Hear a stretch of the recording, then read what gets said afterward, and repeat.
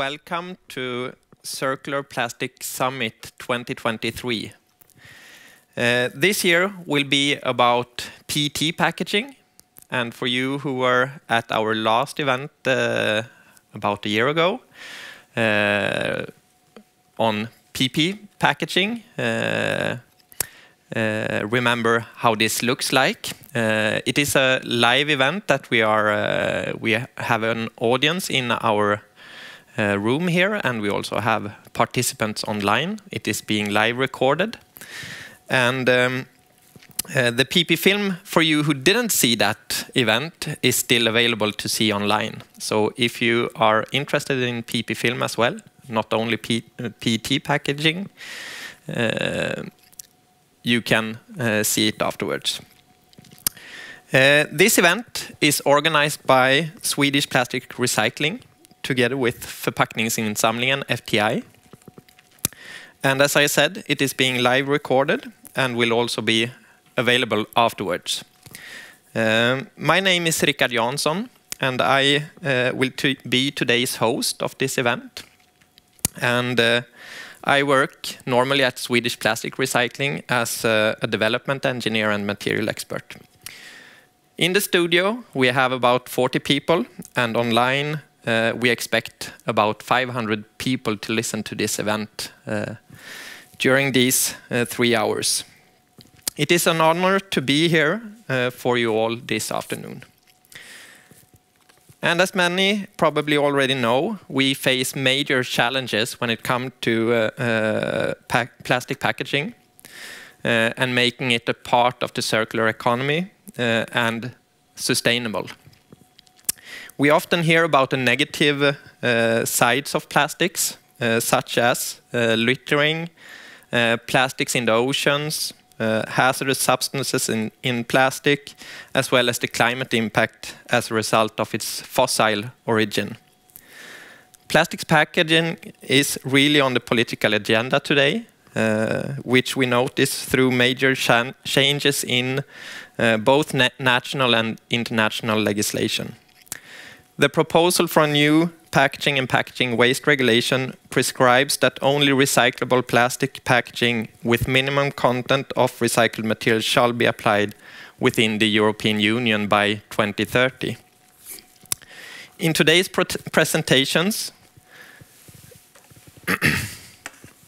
we uh, will focus on some of these aspects, but we will mainly focus on the solutions to the problems that we have. Uh, in today's first session, we have uh, speakers representing the recycling industry. And after a coffee break between quarter past two and a quarter to three, we will have presenters uh, talking about the design of PET packaging. Each session will end with a panel discussion where we start from questions that you participants have either sent it in before or that we have from the audience. And we will, uh, after these uh, two sessions, um, uh, if we haven't been able to answer all the questions, we will try to summarize them afterwards and send to you who have been to this event. We will now jump to the first presenter, which is a part of the state-of-the-art recycling of PET. Mattias Philipsson is uh, the CEO of Swedish Plastic Recycling. And Swedish Plastic Recycling is currently uh, taking the world's largest and most modern facility uh, for recycling into operation, called Site Zero.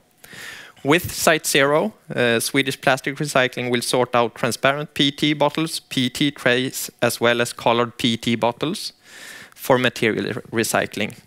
And the floor is yours, Mattias. Thank you, Richard. Hi, everybody. This is uh, a day of great enjoyment for me. Uh, we try to do this every year. Uh, hopefully, in the future, we will make it maybe twice a year. And the purpose of this day today and the other events that we will keep on holding in the future is basically to provide our customers with first-hand knowledge on what is going on in Europe regarding innovation, uh, recycling capabilities, et cetera. This is a way for us also to provide you with direct information instead of hearing it secondhand from us. So I would like to thank very much our uh, experts that are present here today. Like Richard said, I'm CEO of Swedish Plastic Recycling. What we do is actually we help our customers uh, fulfill the extended producer responsibility. But more importantly, we help our customers achieve their climate goals because there is a very, very strong connection between plastics and climate impact. We are actually owned by our customers, and we have 8,500 Swedish customers uh, that we are helping fulfill this responsibility. We are a nonprofit uh, company. That basically means if we make some profits, we invest it in the future technology in order to help our customers uh, increase recycling rates and lower the climate impact. Otherwise, we uh, lower the gate fees or the packaging fees that our customers are uh, paying to us. So, uh, but we are still active on a competitive market. That basically means that there are other actors as well. Uh, like Richard mentioned to you earlier, uh, I think everybody or most of people here today knows the benefits of plastics, but we have a few challenges. One is, of course, littering uh, oceans, et cetera. Luckily, this is very, very little problem in Sweden. It's almost non-measurable how many packaging that actually ends up in the environment. But we have another huge challenge. That is that we keep incinerating too much of the plastics that are being placed on the market. And why is that? Well, first, people tend to not sort at home sometimes. So about 50% is being sorted and ends up in our system. The other 50% goes directly to incineration. The other thing is that about half of the packaging that's been put on the market is actually designed for recycling. That gives us 25%. And then we have some uh, technological uh, losses during the way sorting and recycling, so that ends up in 20%. So currently, we are uh, recycling 20% of what our customers are putting on the market.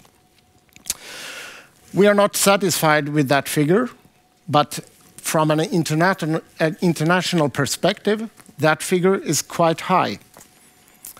Uh, we are aiming to reach 55% by 2025, uh, sorry.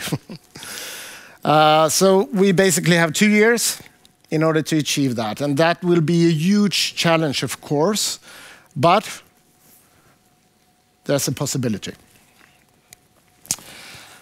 Uh, with that being said, we are incinerating too much. There's another thing I also want to address, and that's the fact that what is actually being recycled is not always being recycled in the smartest, best way. This is a huge difference between different recycling methods.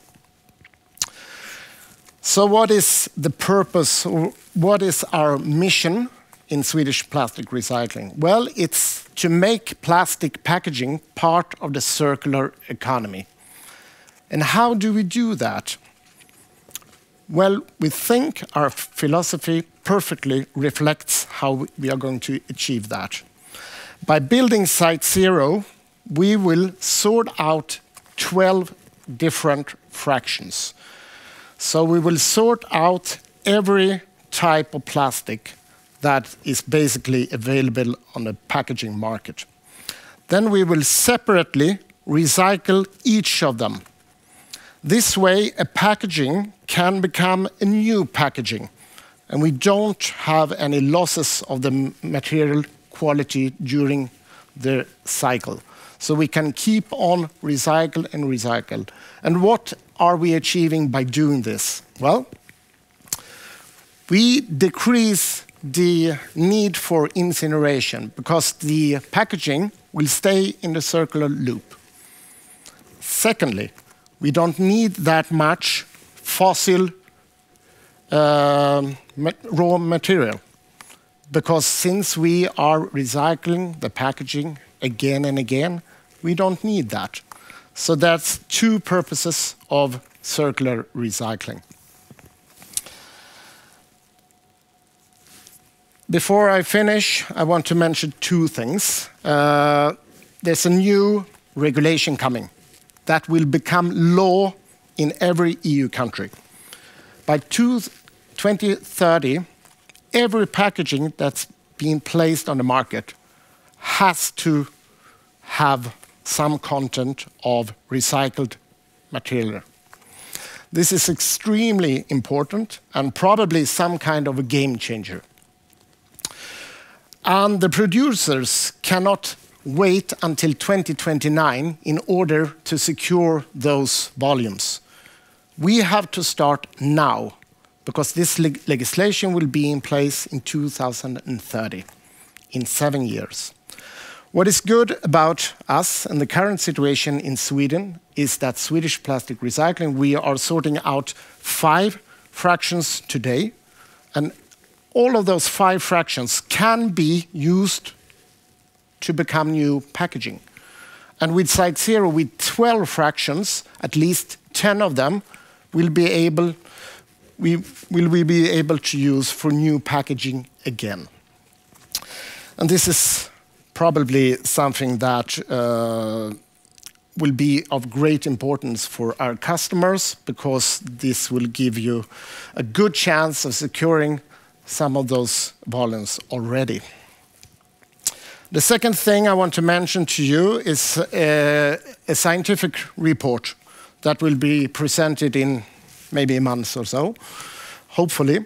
Uh, we will have done that together with IVL and Chalmers uh, University in Sweden, where we have studied different uh, recycling philosophies. And this report will basically show that if you mix different types of packaging, the environmental benefits or the the CO2 emissions will basically be, be the same as for direct incineration.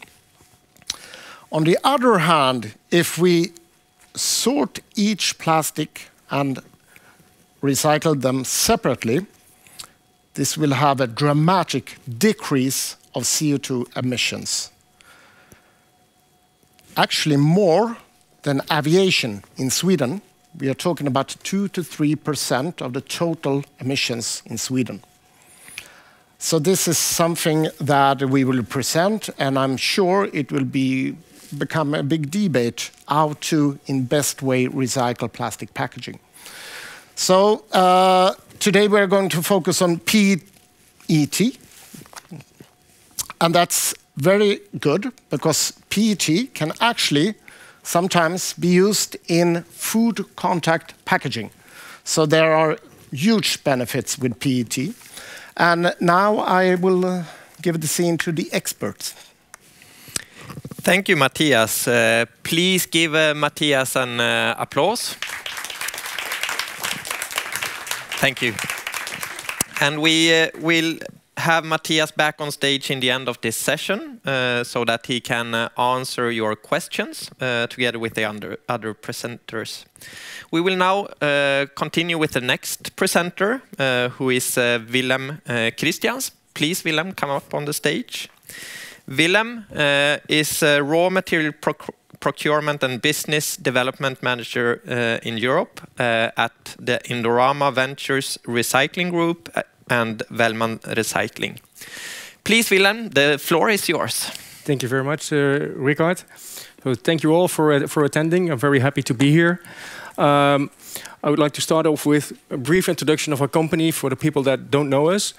Um, so I work for Indorama Ventures. Indorama Ventures is a global sustainable PET company. So we are in the PET resin business, but uh, we are also in recycling. And actually, we have around 147 sites worldwide uh, in uh, 35 countries.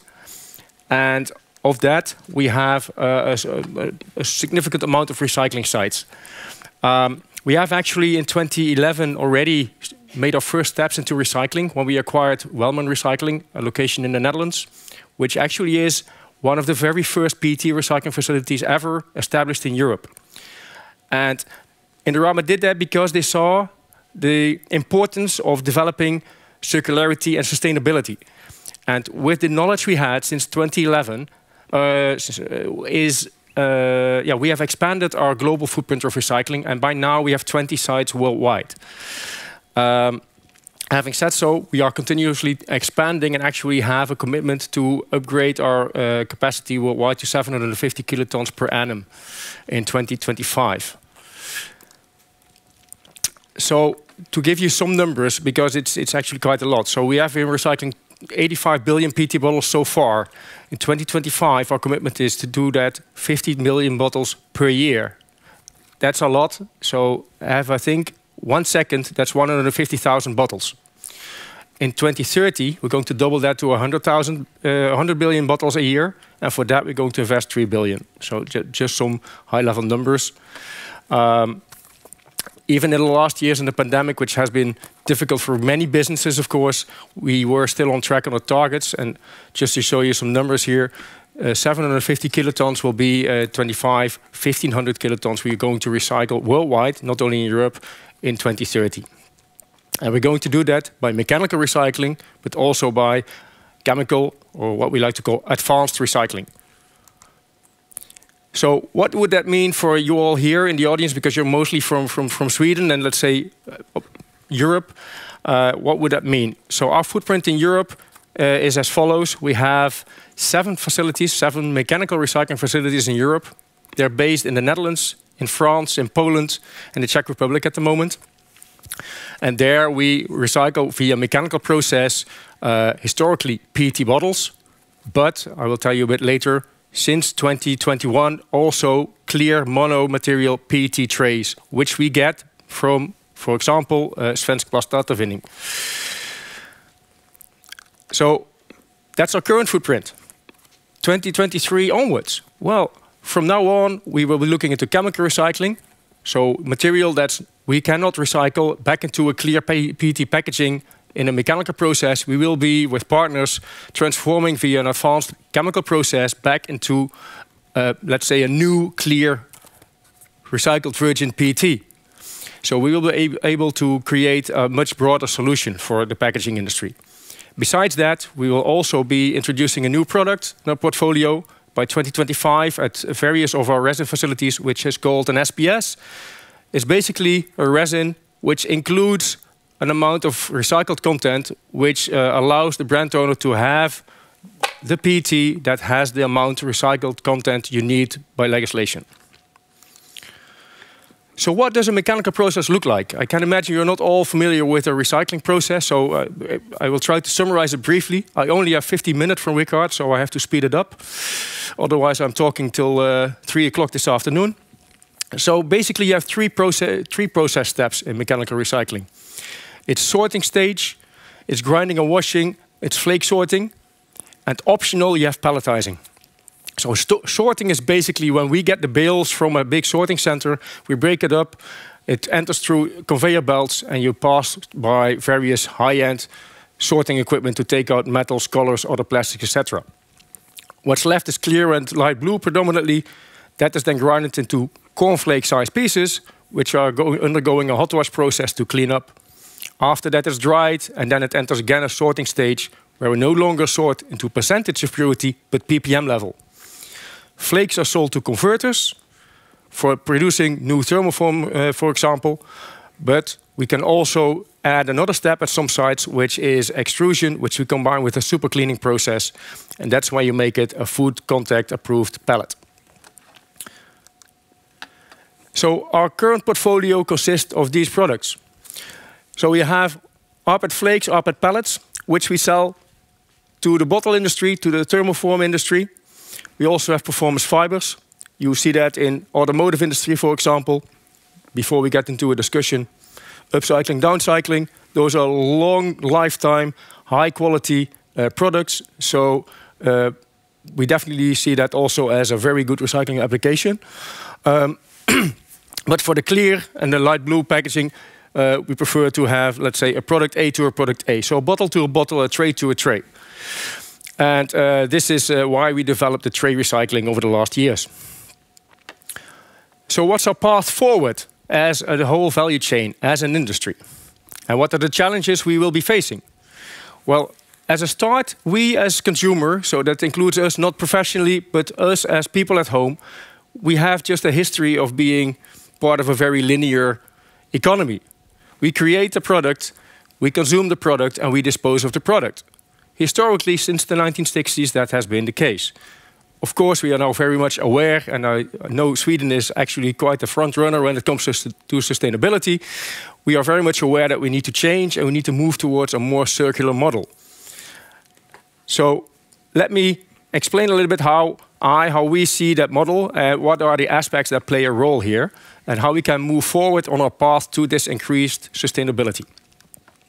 So just putting it into a graphic model, we see four stages in the whole value circle. It's the front end, it's a pack, use empty, collect and control, a back end, and we have some external factors that also play a role. So at the front end, it's the manufacturing and the, des uh, the design and manufacturing of the packagings. Then, of course, it's filled with food, with beverage. It's consumed by us, the consumer. It's empty then, and we discard it. Collect and control is all about waste sorting, collecting and waste sorting. And backend is where we, we as recyclers come into play. Because here is where we turn that waste into a valuable material and you feed it back into the front end again. So as you see, it's a circle, it's all connected. So what's important for us all is that we need to collaborate and communicate. Because it's all not that black and white. There are a lot of nuances, a lot of aspects, and not every time there's one silver bullet answer to a solution, uh, to a problem. So we need to do that, and we need to also include and look at some external factors. And I think this is probably a thing that uh, Jan-Emile is going to talk about, like legislation, for example, that plays a role, which can help us, can also create some barriers. So we need to, we need to find a way together how to move forward in the best way. So let me address some themes. And I'm aware I have only seven minutes left, so I need to move ahead. Our path forward, well, we need to look at, for example, design for recycling. Because Mechanical recycling, when you look at the, at the recycling processes, is often the one that has the lowest environmental footprint. So the design of a packaging, if you want to have it back as new raw material, needs to be focused on enabling mechanical recycling. And chemical recycling will be complementary to that. Then consumer awareness, consumer education certainly will play a role because the consumer needs to know what to do with the packaging and what not. Then, increasing of collection and increasing of sorting. I don't have to elaborate on that a lot because Mattias already told it very well.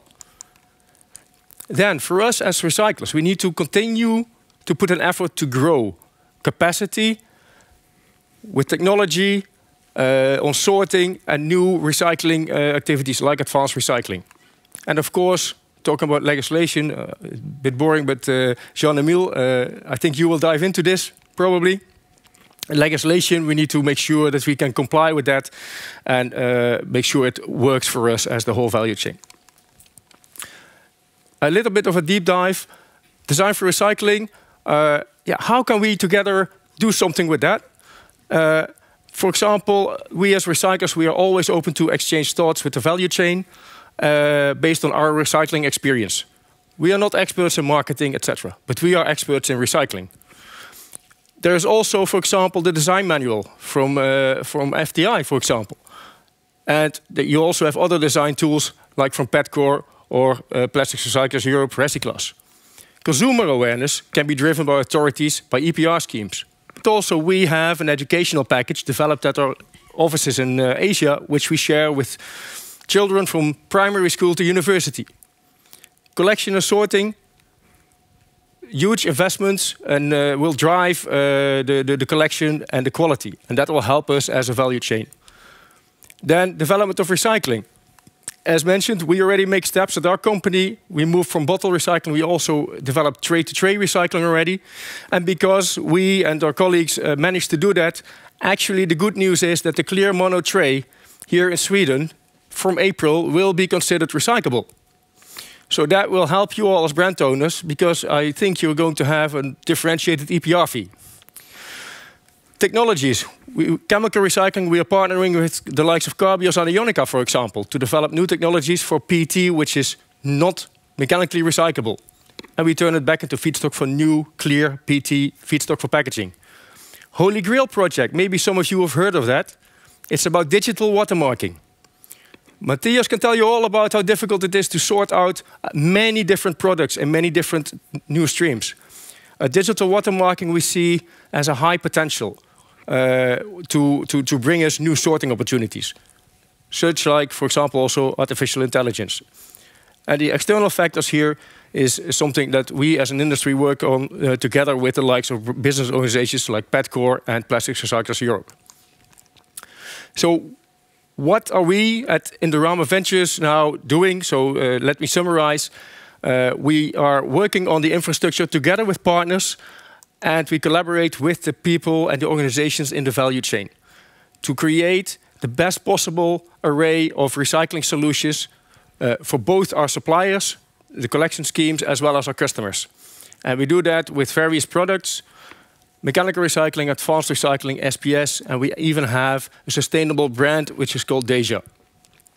And I think I've seen the slide before. Seems like a deja vu. So some key takeaways.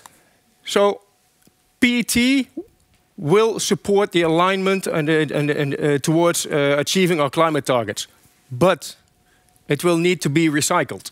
And of course, PET has been by history the one that's been recycled already for a long, long time. But it can always be done better. And for that, we rely on the whole value chain. People need to throw it away in a decent way, like at, at the PMD, in the, in, the, in, the, in the decent collection system. Uh, the collection system needs to be organized well, etc. We as recyclers need to be on top. And then, of course, there still needs to be a demand from the brand owners and not rely only on whether it fits with the current economics. And Indorama, we contribute to solutions to drive this supply of recycled content by our PET product design, by working on sorting technologies and recycling technologies. And we are very much open to partnering with everybody in the value chain uh, to achieve this full circularity. And with that, I would like to close with what we call our purpose, reimagining chemistry together to create a better world. I think we all have to do it together to make the steps forward. We believe in what we do, and we believe that the customer does not only buy our product, they buy what we believe ourselves. And what we believe is that PET is the best and the most circular material for lightweight packaging on bottles and trays. And together we can achieve our sustainable goals for 2025 uh, and 2030 onwards. Thank you very much.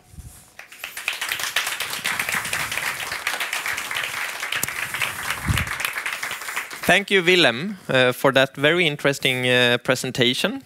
Uh, you are also welcome back on stage when the panel discussion starts in the end of this session. Uh, and an applause have already been given, but uh, once again, very much thank you. Uh, we will now uh, move on uh, to Constantin Damov. Uh, Constantin, you are welcome up on the stage. Constantin is the co-founder and chairman of Green Group. And Mr. Damov will tell us a lot about recycling of colored PET bottles. So, Mr. Damov, the floor is yours. Thank you. Dear friends, I'm very happy to be here, coming from uh, uh, Far East Europe, from Romania, all the way. And uh, probably some people will wonder, what should I tell you? So uh, I have to tell you that we are in this business of recycling 20 years uh, now, and we have been developing uh, I would say, interesting and successful uh, network, uh, regional in the Eastern Europe. Now, uh, Green Group. Green Group, yes, we have a few business lines. One is plastics. We are uh, recycling uh, PET, LDPE, and PP. We have uh, developed electronic waste uh, recycling uh, industry, and we're recycling everything from small batteries to big appliances. Glass packaging and uh, flat glass recycling. And we also have uh, some environmental services we're uh, giving in uh, Romania, Lithuania, and Slovakia. These are the areas we are present with uh, our industry uh, for recycling. Our total capacity, our input is 500,000 tons a year and uh, we have today nine companies, uh, nine recycling plants, and we have uh, 3,000 plus uh, employees. Okay, today is a bad day, so let's speak about uh, PET. And uh, actually, I won't go to the whole history or, or what we are doing. I'm going straight to some trials we did with Swedish plastic recycling. So it's not so much about us, but about our cooperation with Swedish plastics. Okay, here uh, speaking about plastic division, uh, the company is called GreenTech inside the group. And as we said, we have uh, 150,000 tons input, and we have GreenTech Romania, GreenTech Slovakia, and GreenTech Baltic. What we produce out of the uh, PET input, uh, we can uh, deliver 70,000 tons of PET flakes, and uh, we are producing staple fiber polyester 45,000 tons a year. We are also producing packaging, PET strap, 7,000 tons a year, and uh, also rPET, uh, approx uh, 15,000 tons uh, a year. Well, I should say that all our products uh, have uh, only recycled content. We don't use any virgin material. And also we have been very much focused on a CO2 footprint. And uh, in the case of a PET product, like uh, fiber and uh, strap, we calculate our CO2 footprint and the reduction goes so far as a 70% less than virgin uh, fibers. Actually, I think we are the first uh, company in Europe that we succeed to obtain uh, green certificates for offsetting with other companies for CO2 reduction. Okay, Swedish color bottle is something that we heard is happening here, and we tried to uh, put our nose into this uh, matter, and this is how material for the first test uh, was looking like And uh, we know that today uh, quality was improved uh, a lot in sorting, but for our test, that how material uh, reaching our site was looking like. So we start in uh, 2021, cooperation for color PET bottles, and we tested a quantity of 18.48, actually is one truck of uh, color PET bottles, just to get some uh, results. You can see here uh, the quality of bottle we found in the bale. Uh, we also find also other material that we had to separate, like uh, uh, PS, uh, some paper, um, things that I understood from Mattias, they, they, have been reduced a lot, and the quality of material it's it's much better. What we got out of that? Flakes. After we have been it's a mechanical recycling, like was told before. And this is how the uh, flakes look like. It's a floral, we call uh, the color is floral.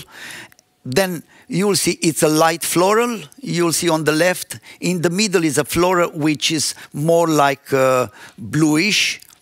And uh, the one on the right, it's uh, very reddish. So, we start from these uh, colors and we try to find application to use this material uh, into a finished product. So the results of uh, the conclusion on quality on color bottle bales was that the color variation is the one that is creating uh, difficulties for the finished product and I will say you uh, at the end uh, where we went with this, I would say, difficulty. Uh, we realized that such material we could accept in our facilities, uh, like a 300 tons. We got a good quality A, B, and some C. It's a positive development, and we, what we can produce is a PET strap and a low-grade uh, fiber. Okay, for the trays, this is how they look. I will go, uh, it will be like uh, 220 tons we have been processing. And uh, we have been going to some uh, analysis. And uh, I want to show you that what we got was like 80% uh, trays, 20% impurities. We made also the oven test, and we've seen, due to uh, multi-layers, a little bit of yellowish um, change of the, uh, of the color. And we went even to the level of uh, um, regranulated, so you can see the crystallized pellets, they look quite good. Okay, so PET tray is a challenging process. And uh, what we found was uh, more organic uh, content uh, on the dry trommel. the optical sorter had been rejecting the black trays, which are not really good for uh, the process. What the treatment was quite uh, difficult because of biocontamination. And we also realized that we can have, for the application, even up to 20% of multi-layer. I think this is uh, uh, some news. Uh, and I will tell you that was say that nothing is black and white. One of the application, it's a fiber, which I have it here, which is gray. Is not black and is not white. It's difficult to have a, a, a clear, a white uh, fiber also black fiber, it's very demanding. So uh, this application uh, looks like a good one and uh, it goes to automotive industry, is going to furniture, is going to carpet and uh, uh, so on. And at the end, uh, I want to thank you for inviting me here. And I will say that from Romania Green Group, 12 votes are going to Sweden. Swedish plastic recycling. Thank you. Thank you for the 12 points, uh, Constantin, and for the great presentation on uh, on how you have tested our materials, both uh, colored PET bottles and PET trays. Uh, after the next speaker, you are also welcome back uh, on stage for the uh, questions uh, to be asked. Uh, and uh, we will now proceed and we will invite Matthijs, Matthijs Veerman on stage. Welcome up on stage, Matthijs. Uh, Matthijs is uh, working as a business development manager uh, at Morssinkhof Plastics. And uh, you will also talk about PET recycling. Uh, so please, go on. Thank you. Thank you also for, uh, for the invitation for today to tell you a little bit about myself very shortly, the company and our activities in, in PET recycling. Uh, to start with uh, myself, indeed, I'm uh, uh, involved in business development at, at Morssinkhof uh, Rimoplast. And besides that, I'm also trying to make a little bit of a contribution by participating in industrial organizations like being a co-chairman of uh, NRK Recycling, the Dutch Plastic Recycling Association, um, and also being in the advisory board of the Dutch version of uh, FTI, Afvalfonds, and a member of the Dutch steering committee of the Plastic Pact. Um, to give you a little bit of background about our company, so we are Morssinkhof Rimoplast, a group nowadays of 11 plastic recycling companies active in the European market and already having quite a long history in, uh, in recycling, actually since 1961 when Mr. Gerty Morssinkhof started the company. Um, in the meantime, his three sons are managing uh, the company, Eric, Rolf and Stefan, each with their own specific activities in the business. And there's also a Swedish connection to Morssinkhof Rimoplast, as IKEA is since 2017 a 15% minority shareholder in our company. The end products that we produce as a recycler are regrinds, regranulates, and compounds. And the annual production across uh, uh materials like HDPE, LDPE, polypropylene, polystyrene, and PET are currently 400,000 tons uh, per year. And one third of that, roughly 125,000 tons, is uh, PET recycled raw material. And always with the focus to do it in closed loops, so to bring back the raw material in the original application. Of course, of very big importance for us is that we work with great partners in the supply of material and also at the back end uh, of, our recycling process. And we are happy and proud that since 2008, at the very early stage of Swedish plastic recycling, we are already in contact. And we started in 2019 uh, with the recycling of HDPE and polypropylene sorted packaging from the Swedish uh, system. Um, again, there we are uh, doing our utmost to close loops on high-end uh, applications. So by intensive mechanical recycling processes, we sort on color, we grind, we cold wash, we uh, hot wash, we pelletize, we deodorize, and from that uh, recycling raw material uh, results that can be reused in HDPE bottles, for example, for home and personal care applications. And more in the area of IKEA, our Swedish connection, uh, we also recycle polypropylene.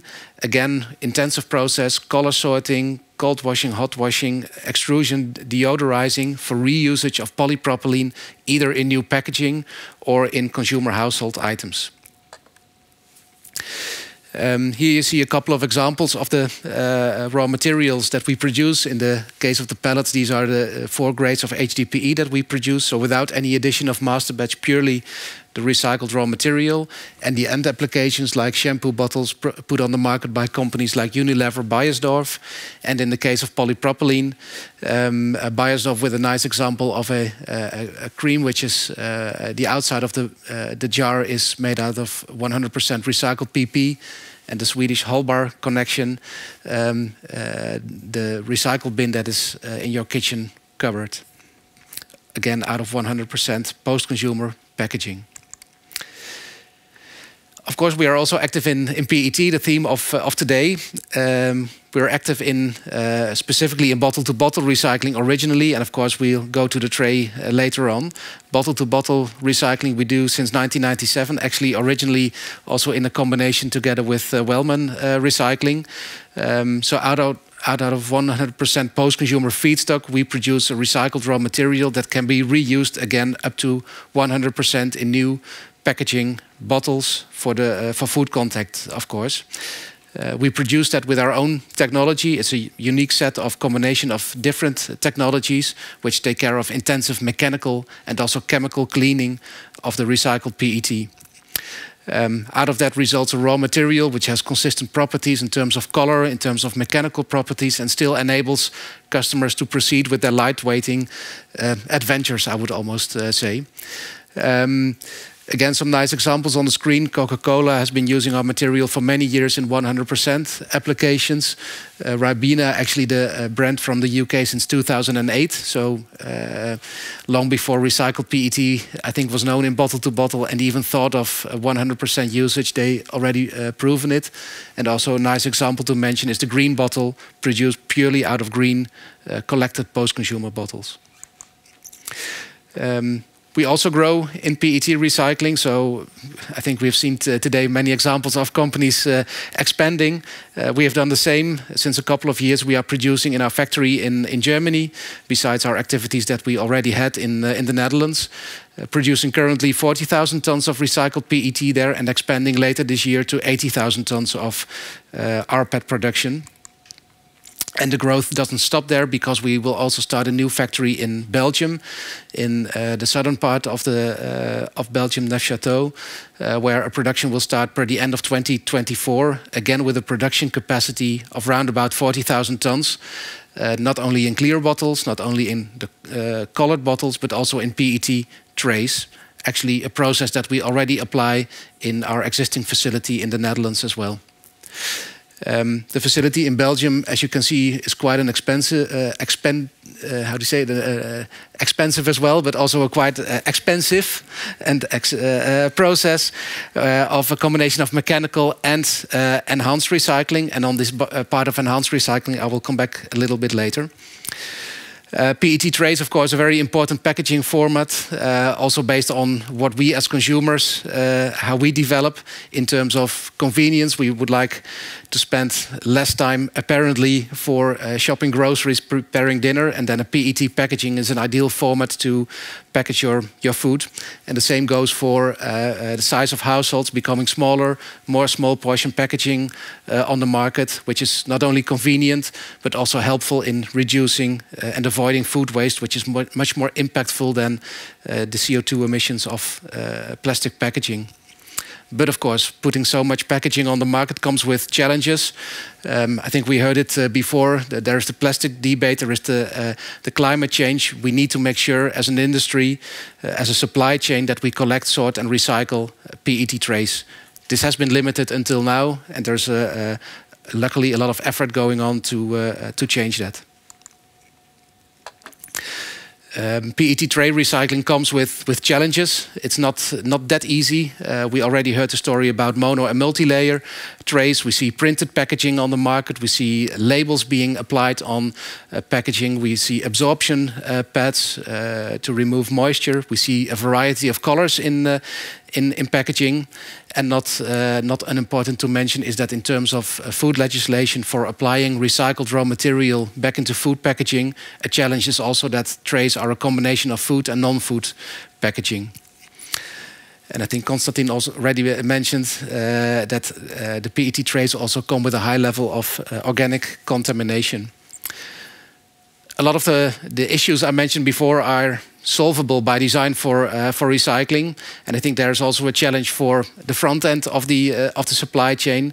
Uh, there is already a, lot of knowledge, and Swedish Plastics Recycling helps to expand uh, that that knowledge. But at the same time, studies of the Dutch University of Twente have uh, proven that, uh, or highlighted at least, that choice of materials in terms of design for recycling is too often still made by marketeers and design agencies being decisive in, in the choice of material.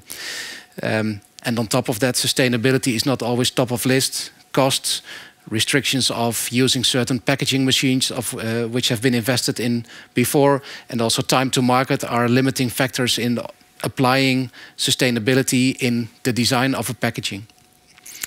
Uh, also not unimportant to mention is that uh, the focus until now always has been on reduce, reduce, and reduce, uh, not always thinking correctly about the impact of lightweighting and packaging on the recyclability.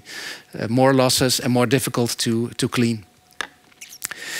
Um, the solutions are there in terms of sorting and in terms of mechanical recycling. Uh, we have seen the, the presentation of, uh, of Rickard that uh, polymer, color, and mono and multi-layer sorting is, is done by Swedish Plastic Recycling, helped by different technologies out there in the market, which can make uh, the sorting perhaps a little bit easier.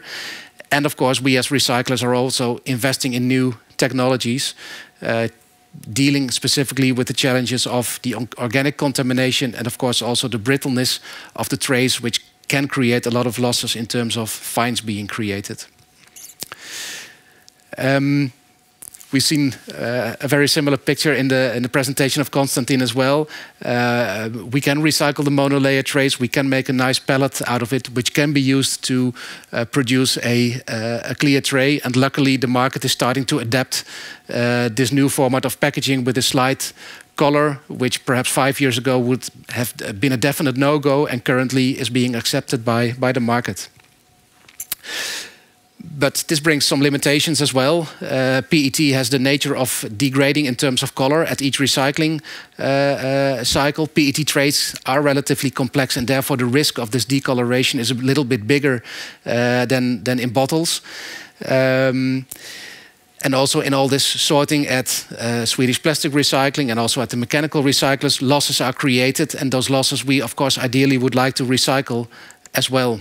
And that is where enhanced recycling comes, comes into play as an add-on to, to mechanical recycling.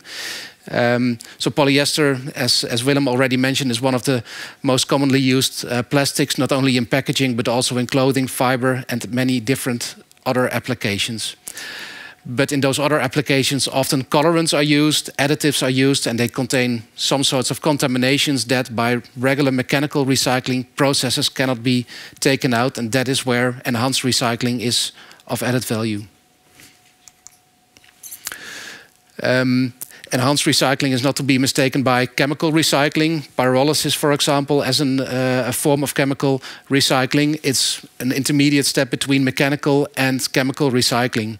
Um, in our case, it's a partial depolymerization, and that partial depolymerization enables us to filter out um, multi-materials, uh, to microfiltrate based on, on particles uh, to be taken out, to take out colorants, um, and then rebuild a polymer that can be reused purely in uh, food packaging, uh, clear applications again. Um, of course, one of the downsides of definitely of chemical recycling, uh, but let's say a more enhanced advanced recycling as such is that it's related to more energy usage. And we have done quite an extensive CE Delft uh, study, uh, LCA study, that has proven that uh, despite the fact that the CuRe technology, in our case, has a little bit more uh, energy consumption and therefore CO2 emission uh, than mechanical recycling, it's still way better than virgin production and still way better than the impact of regular chemical uh, recycling. Where are we in this process of enhanced recycling? We started in 2018. Uh, in 2020, we opened a pilot plant where we are doing a lot of trials on, on different materials um, and are currently trying different ways of uh, decontaminating the PET, which will result in a demonstration plant of 25 kilotons, uh, which will be operational by the end of uh, next year. And of course, all those developments, you cannot do it alone as a company or as a small consortium of companies. You need uh, partners. And in this particular case, Coca Cola is helping us out uh, massively. Uh, financially, but also with all their knowledge, they uh, support us in bringing this enhanced recycling to, to market. Of course, in their strive to put 100% recycled PET and or sustainable raw material back, uh, back in the market. So to, to conclude, uh, the enhanced recycling can be a great add-on to what we already do in uh, mechanical recycling by processing waste streams which are simply not uh, uh suitable for mechanical recycling alone. Or better said, the output of mechanical recycling uh, cannot be reused in new applications. There is no market for it of course, everything that goes for bottles, it goes for trays as well. Everything that can be recycled mechanically and can be put back in the original application, please mechanically recycle it. Advanced recycling is of no added value uh, there. Um, at the end of the day, our strive is uh, to go to a market where 70% of all material is mechanically recycled and 30% of all material is either enhanced recycled or bio-based material so that 100% of the raw material mix at the end is sustainable. And until that moment that enhanced recycling is there and active, as Max Verstappen, I, th I, think, always says, let's keep pushing uh, the limits, in this case for design for recycling and also the sorting and mechanical recycling of, of PET. Thank you very much.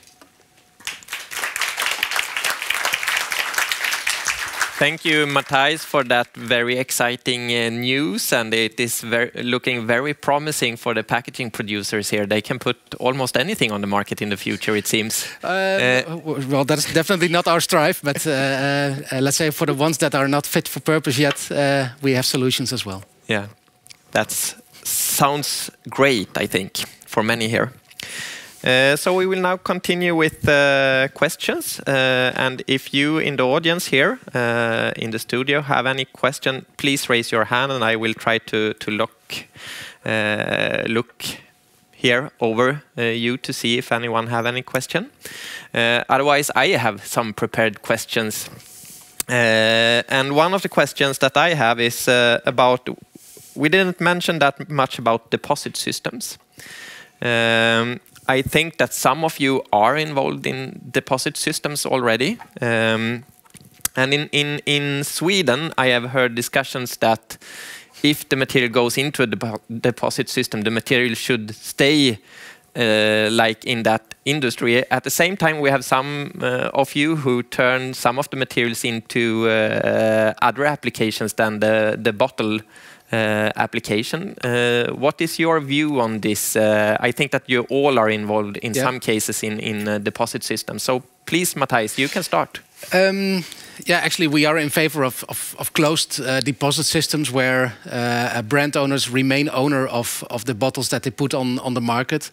Um, in many ways, I think that is a good uh, development. A, uh, because they have an obligation uh, by 2040 to include 65% of recycled content.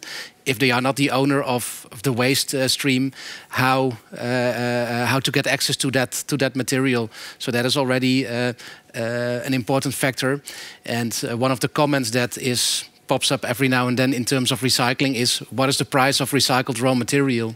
And the price of recycled raw material, specifically bottles, is sometimes driven up by demand from not only bottles but also other applications if you have closed systems for deposit bottles where the brand owner remains owner of the feedstock, there is no price discussion anymore. You need a converter that converts the post-consumer bottle to a recycled PET and the commercial factor is taken out of the equation and nobody can ever say anymore that uh, uh, to not use any recycled material because it's more expensive than uh, the alternative, which in this case could be virgin material. Yeah. Thank you, Matthijs. Uh, do uh, Constantin want to add anything in this discussion on, on deposit systems and keeping the materials in, in a specific application? What is your view on it? Of course, how much time do I have? you can get uh, one uh, or two minutes on it. Two minutes, okay. Uh, well, I agree that uh, this is a very circular model. So uh, they are selling the use, they don't sell the packaging. So it remains forever property of the filler. Uh, and of course, in such a situation, uh, recycling industry is becoming a service. So we, at least a Green Group, we uh, humble approach this uh, uh, system like uh, we are the service for the big industries to keep the material keep moving uh, in the in the system. Of course, uh, will find because many companies uh, smaller, they have to uh, be different from large companies. Not all will stay with clear bottles. Uh, in Eastern Europe, we have a lot of brown and green for uh, beer. Uh, yes, surprising. And at the end will be material that will be difficult to go for our PET. So other solution of extending the life or finding uh, upcycling or whatever we call it, but uh, any good solution should be also part of uh, DRS. So I believe it, it will be a conversion, but also a part has to go for other application, not necessary closed loop. And Willem, I think that you are also uh, excited about getting the same question, so uh, please. um, I think what's most important is that whatever system it is, whether it's a DRS or whether it's a non-DRS EPR, every bottle and every packaging should be coming back and become available for recyclers for us to process it back into new raw material. So I'm a bit neutral in there. Uh, I think that, that this availability is point one. The second part is that the whole chain, and Matthijs already explained a little bit, should be economically, be economically viable. Mm. And that, that's just key. Because the, the cost of the system, whether it's a closed loop, whether uh, recyclers are free to sell it uh, uh, to whatever customer po portfolio they have, it will be key that the cost of the circular system will be borne by the whole system. Mm. And that's how circularity has to work. Costs are not just at one place, but borne by everybody involved. And that, that's going to be uh, important, I think. Yes. Mattias, you represent uh, the EPR scheme uh, here in, in Sweden for plastic packaging. What is your view on this topic? Well, uh, I have to say clearly that we have a very good uh, deposit system in Sweden. It's working very well. Uh, so those bottles that we actually receive, we shouldn't have received them, many of them, but it's a good thing for the consumer and for the companies as well to know that we will also take care of them and recycle them and hopefully let them be new PET bottles. Yep. Uh, other than that, I don't have too much to, to add to those experts. Thank you. Uh, perhaps one thing to add, I think uh, the whole concept of uh, a deposit system where a brand owner puts material on the market, gets recycled PET back, I think at the end of the day is a great example also how uh, let's say, an EPR system like Swedish Plastic Recycling could work, where brand owners could get more directly involved in systems and see that the material they put on the market, they pay a fee for the service to collect, sort, and recycle, that they can have access to recycled raw material again. So I think this whole concept that could be inspiring for uh, uh, other parts of the plastics industry than PET bottles as well. Mm. I think we uh, have uh, answered that question. Do we have anything from the audience? Anyone who wants to ask everything you have been thinking about PET packaging for the last month or maybe last hour? Uh, if you're not thinking about PET packaging all the time. I know that you are asking me a lot of questions about PET packaging, so I'm a little bit confused if no one raises their hand in the audience, and I will continue with my questions otherwise. But uh, please, now I see that Torkel wants to ask, ask, something, so we will make sure he has a mic. Now uh, he is ready. Hi, Torkel Bergen, uh, former dairy, now plastics production. But uh, I was thinking about the new PET trays and lids and cups uh, sorting and uh, recycling because I know since before it was not easy to recycle them really because of contaminants on lidding films and uh, laminates and uh, and maybe residues of products. But are we now going to have them recycled in a closed loop when we use PET for lids and trays if they are clear? Thank you. A very good question. We can start uh, at uh, Mattias, I think, uh, who is responsible for doing the sorting of them. Uh, how do you see on this uh, question? You have the PET trays that are right. Uh, have for a long time been sorted in Motala, but not been sent for recycling and what is you're already given the answer uh, yeah? let me sorry I, so uh, the, the the plant that we are operating at the moment uh, that is expanding to become site zero it was actually designed uh, to be able to sort out transparent uh, pet trays uh, so we, we have actually been doing that for a long time and been testing that with, with uh, many different actors. And uh, last year was basically the moment where we found a suitable solution that we uh, actually were, were there to be able to uh, close the loop. And this is, of course, uh, very encouraging. And uh, yes, I would say that, that we have created a closed loop for transparent pet trays. Yes. And another question, not on pet, but if you say, for example, that uh, you have closed loops for personal care products for HDPE, mm. would you see it's possible? Uh, if I would like to buy such for food contact materials, I guess it's not available anywhere. Uh, indeed, uh, good good question. Good, uh, same reaction. Uh, how much time do you have? Because because it can be quite an extensive answer. Um, let's summarize it to the to the fact that European legislation, although Europe is pushing towards circularity, pushing for more use of recycled raw material. Um, the uh, strictness of rules in terms of uh, food contact, recycled raw materials for food packaging, um, the strictness level is high. PET is an ideal material to bring back into food for chemical uh, and treatment uh, reasons, which is more difficult to achieve with uh, with HDPE and, and polypropylene. But um, let's say that the new legislation with novel technology might create some openings that can be used in the near future to also bring back polyolefins back into food packaging. Yeah, thank you. Because not everything is possible to produce out of PET. Indeed. Yeah. Thank yeah. you. I I I, uh, I see that uh, Willem wants to to add something we- here on the, these well, topics. We move to to to the uh, to the other plastics quickly. So I just wanted to elaborate a little bit more on the PET trays. So whilst in some cases, uh, like here in uh, Motala, uh, the, the, the the sorting was started pretty pretty early. There are many countries where PET trays are not or not yet in a very good manner are sorted. Um, so it was sorted here, and, and I think in collaboration with us all, uh, basically, uh, a, a decent quality has been uh, developed uh, in the extensive sorting process. So it actually means that uh, of the clear PET uh, tray stream, so I have to say clear because if you put in all the funky colors, it's it's it's not going to be returning back into the packaging, as Constantin also said. Um, so of those clear PET uh, trays for the mono tray, actual tray to tray is possible uh, already technically. So uh, that's already what's commercially happening at the moment. So uh, if that was a question, is there any tray flake available to make a new clear PET tray with a decent amount of tray rPET content? The answer is definite yes. So.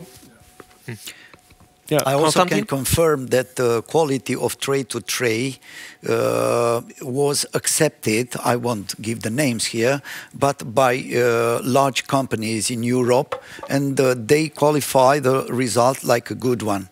Yeah. And I will say again that uh, the quality of sort, a good sorting quality is guaranteeing a good recycling results. Yeah. So what uh, uh, is happening in Motala, it's an example how sorting should uh, go and uh, secure pure materials in order for uh, good results. Yeah. Hmm.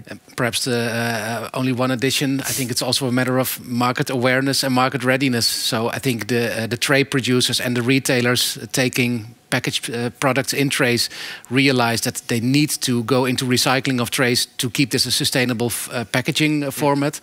And also market readiness. Uh, you've seen, I think, the tray that Constantin uh, had in his presentation, the tray that I had in my presentation. It is slightly more yellow than perhaps a tray which would be produced out of bottle flakes. But uh, when the market is ready to accept that a tray might look a little bit different than it used to be two years, five, ten years ago, then we can also take as recyclers the next steps to keep investing in uh, uh, in capacities. And the yellowing effect of the PET that is being recycled, what would you say is the cause of the yellowing effect? Uh, of course, PET, when being reprocessed, has the nature of uh, discoloration, and uh, reprocessing can be in in, in an extrusion line uh, for making sheet, can be in a uh, recycling extrusion line. So it's inherent to the to the material, and the more complex a packaging is, the more particles that create this yellow uh, this yellowing uh, will be will be present. So it can be a multi-layer um, uh, material, but it can also be other factors that create this this yellowing. I think uh, Constantin uh, had a picture on this uh, in called the oven test that can be made to to to see how much of yellowing effect you have on a recycled material. so can you also comment a little bit yes. more about this? It also may come from multi-layer has not only PET. Mm. So we might have like a barrier for oxygen. Yeah. Uh, that is, uh, I don't know, can be polyamide or can be uh, polyethylene, and uh, at different temperatures, of melting, and uh, we can see a yellowish uh, turning uh, color, especially uh, for uh, by presence of the multi-layer trays mm. in the in the whole packaging. It will be very difficult to separate totally, but we understood new technology just appeared, and the multi-layer and the single layer can be now separated. We're looking forward to see uh, this in Motala. we will see. Uh, do we have more questions from the audience? I see that we have a hand in the air, so we will just make sure that she get the microphone. Yes, okay, so I have a question. For PET packaging, if you are to mention the top three reasons, you know, design for recycling, what would those three top be for PET packaging? To improve it, you mean? To improve design for the recycling. What yeah. would be the top three most important thing to enhance recycling of PET packaging? Well, it, it, it's always, if I may, uh, may start, it's always uh, an organic thing how it works. Sorting and recycling is always very much responsive of what's happening in the market. So, so first of all, we shouldn't look at it as like uh, only the now, but as the future. And there will always be new questions arising. Um, so mechanically speaking, if you want to recycle PET, whether it's a tray or a bottle, uh, color is one. I can be like very straightforward. Uh, I have two kids. You have a plate of four types of paint. After 20 minutes, the plate doesn't have four colors, but it's brown. So basically, in a mechanical process, you have all types of color. You're not going to make any clear new packaging from it. So if you need only clear, color is definitely number one. But there are also other aspects. You could think about full screen sleeves, for example, uh, that could uh, affect the effectiveness of your sorting if the, if the bottle underneath is clear. But also the materials of sleeves, for example, can be uh, an issue. And of course, talking about layer structures, etc., for functionality. So I get it that there is a functionality uh, request there. Um, the layers can um, have, uh, let's say, a, a, negative impact on yeah, turning the material back into the same new packaging again. Um, nonetheless, we've seen over the last years that, for example, trays is a good one. Black has been phased out, and multi-layer barrier stuff is slowly getting less and less and less. So it seems that there's an increased awareness that uh, simplification of the packaging leads to a higher circularity, I would say. I, I, must uh, continue on this uh, question because uh, many of the packaging producers they need to use uh, lidding films, labels, and they are using glues and or adhesives. Mm. Uh, what is your view on the adhesive? How is it being uh, handled in the process? Uh, do you think that, and depending on the temperature stability and the dissolution properties, can you can you elaborate a little bit on this? maybe Matthijs? Um, I'm not that, that most of the, the technical expert. I must uh, I must admit. Of course, uh, avoid using uh, using glues where possible is of course always the best uh, uh, solution. And what I sometimes hear in discussions on design for recycling is. Um, uh, neglecting the fact that if you wash off a glue in a washing process, that it's um, uh, you transfer a problem. The problem is on the packaging. You wash it off, and most designers for packaging, I think, problem solved. But the problem is not longer on the packaging, but it's in the water. And of course, if you uh, certainly uh, uh, Uh, uh, we have been focusing on energy, but I think the next big thing, uh, big thing in uh, in Europe will be water, water availability, water cleaning, putting it back into the system. So we also should be keep thinking about when we put glue on and it's you can wash it off. the problem doesn't end there. So that's my yeah. add-on to. Uh, to this question. Thank you, and I think that we will come back to uh, to this question in the in the next uh, session time is uh, running out, uh, and uh, I'm very happy with uh, all the presenters uh, and the work that you have done here uh, this first hour.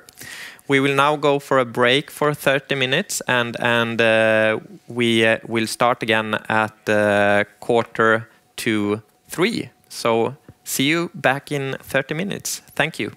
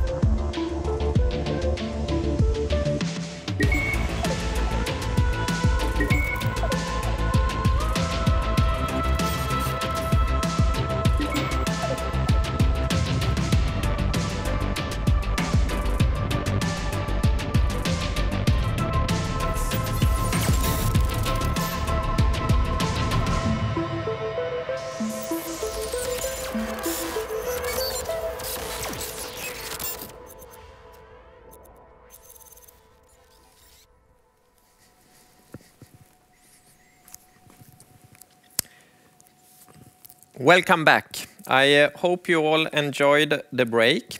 Uh, we will now continue with the uh, second session, which will cover PET packaging design. And we have, once again, four speakers, and the first one is Hans Steijer. So welcome up on the stage, Hans.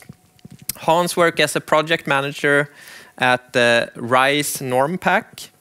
And Hans, the floor is yours. You will talk about food contact materials. So That's right. Thank you. Please, go on. Thank you for the nice introduction. My name is Hans Steijer. And in my daily work, I'm at the secretariat at NormPack, and we are part of RISE, the Research Institutes of Sweden. Uh, the aim for NormPack is to work for safe materials in contact with food. And today I will use the acronym FCM, uh, meaning food contact materials. Uh, these may be the starting materials you see on the picture, uh, as well as the articles like the cup, the lid, and so on. FCM are mainly used for packaging, but the rules also apply for all materials used for preparing or serving food. NormPack have been around for more than 40 years. We started off as an initiative from the food and packaging industry. The aim was, and still is, to set the model how to navigate the legislation for food contact materials, mainly aimed for the Swedish market. We have approximately 175 member companies. There is a steering committee led by a chairman with a background from the food packaging sector. And yesterday we held the eh, annual meeting here in Stockholm, again, for the first time after the pandemic. Eh, we had invited speakers from the Swedish Food Agency and the food sector. Unfortunately, the speaker from the EU Commission had to decline with short notice. Eh, and as I said, the goal is to help members navigate and meet the legislation, and by this, put safe materials on the market. Uh, the foundation for NormPack is based on three blocks. Firstly, we have the NormPack norm. Uh, it's still needed because there are still gaps in the legislation at the entire EU level. So the norm also refers to, for example, the German recommendations to give a complete set of requirements covering all type of food contact materials. Secondly, we cannot and shall not take the legal responsibility uh, of the materials. The system relies on that each actor control and self-monitor its own activities and products. However, then, as a third block, uh, NormPack may support in assessing the supporting documentation for a product or material and evaluate if it's up to date with current versions of legislation and recommendations. Uh, a membership includes guidance, uh, the possibility to follow courses. We provide newsletters, uh, approximately 10 per year, and we may hold webinars when there is a specific topic to inform about. And as I mentioned, the possibility to apply for NormPack certificates for FCM products. But uh, enough on NormPack then, and over to the topic of today. I will try to give you an overview of the FCM legislation, and we'll focus on the new regulation on recycled plastics for food contact. Uh, but as a start, a very brief introduction for those of you new to the field. All food contact materials are covered by the EU Framework Regulation, Uh, and the processing and handling of them are covered by the Regulation of Good Manufacturing Practice, GMP. Uh, the framework is an umbrella for all type of FCM, and the core requirement is that FCM shall not transfer its constituents uh, to the food during its use in quantities that could endanger human health. It's also stated that FCM, in principle, shall be inert and not change the properties of the food, nor deteriorate odor or taste of the food.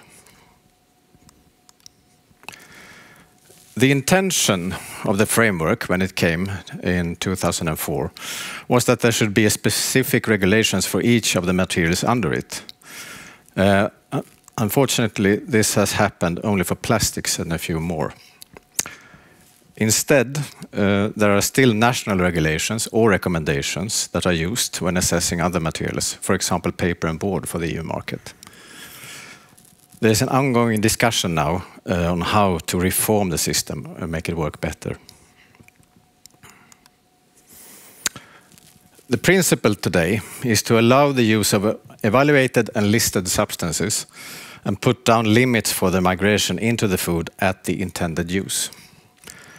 For plastics, it has worked out as intended, however, at a rather slow pace. It is the most comprehensive material-specific FCM legislation, and the so-called positive union list has more than 1,000 entries. It is also detailed on how to evaluate and test for migration. But uh, over to today's focus then.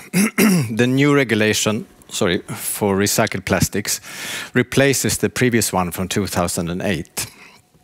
It has a broader scope, and among other things, it's more clear on definitions and roles of different actors. Earlier, also national laws applied, but this is not the case any longer. Uh, it, it's a complex regulation, uh, and it's not possible to cover it in full during this limited time for my presentation. The purpose of this new regulation is to increase the use of recycled plastic content in food contact materials, and at the same time secure that the health of us is not at risk.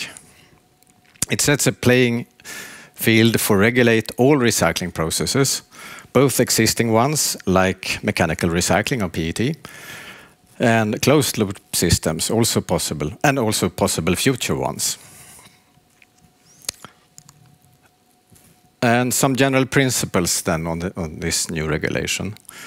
Um, it handles decontamination, both of chemical possible contaminants uh, and also possible microbiological contamination.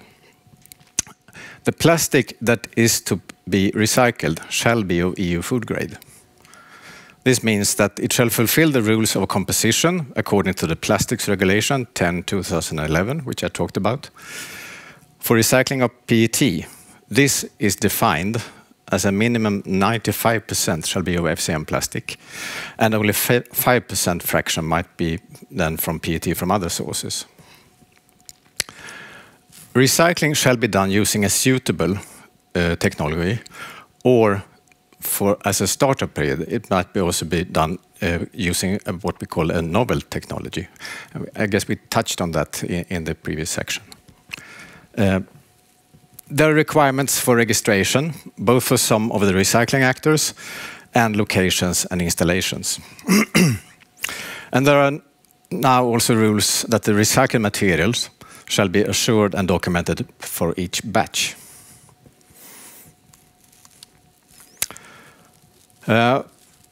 One of the reasons for an entire new regulation was the need for clarification of concepts. First, uh, we're talking then on recycling technology which is then a specific combination of physical or chemical concepts, principles, practices to recycle a waste stream of a certain type and collect it in a certain way into recycled plastic materials and articles of a specific type and with a specific intended use and includes a decontamination technology. And as you understand, I'm reading from the legislation now. Uh, under that, you may then apply recycling process, a sequence of unit operations, pre-processing, decontamination process, and post-processing. And European Food Safety Authority evaluate all of these processes and give a statement on them. Uh, but now the new thing will be that the EU Commission will then authorize them and list them. And then as the last level there would be recycling installations and that's equipment operating at least one part of a recycling process. And this is then an example of this, describing this hierarchy uh, between technology, which is the concept, process, uh, which use the, uh, the, concept, and the actual production uses units uh, using a, a, process. Um, this is then an example of a recycling process. It's a sequence of unit operations possible to divide into three blocks. You have the pre-processing, the decontamination process, and post-processing. Uh, when it comes to the decontamination process, is to be used according to specific instructions. Uh, for example, it has to be mixed. Uh, uh, sorry, what comes out of the decontamination process uh, is to be used then according to specific instructions as a way to meet criteria for being as clean as it needs to be for the, uh, the intended end use. Therefore, the required amount of decontamination depends on pre and post processing. And a recycler, uh, in the sense of this new regulation, means any, any person who applies the decontamination process. And the converter is then doing the post processing. Uh, I realize I have to speed up a bit, but uh, I would like to show you anyway that you, you need to possibly to become familiar with new acronyms in, under this uh, regulation. Uh, for instance, and these are to be used then or given to you when you do the registration to this new register. And to make things even more interesting, uh, uh, there is an upcoming uh, need uh, obligation for registration of FCM actors in Sweden. and well, you you will apply these uh, registration acronyms then for different levels uh, under the the new regulation. Uh, uh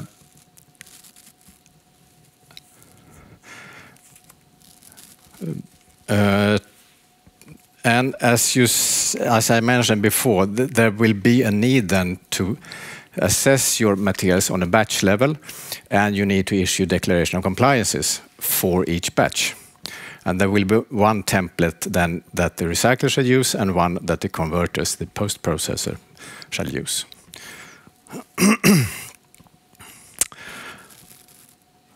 Uh, and to wrap things up, I will just highlight that the concept of using post-consumer plastic behind a functional barrier is now under the, scope of this new recycling regulation. And we can talk a lot about that, but I don't really have time for it.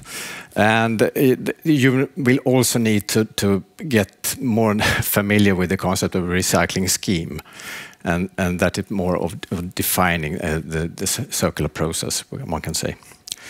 Uh, there are a lot of dates in the in the new regulation, but uh, I would like to to put forward to you that it's in force. So so it's important to to to make yourself famili familiar uh, with this already now. And there are a lot of dates. Uh, registration deadlines and so on, and that is might be even more complicated. So I won't go into details there. So if you feel that you are affected of this, please make sure that you, you get to, to know the information about these. And as a final remark also that the regulation for good manufacturing practice will be updated in line with this new uh, regulation. And by 10th of October 2024, collection and pre-processing operations will need to have a quality assurance system certified by an independent third party. And I think that we, what we can expect in the future.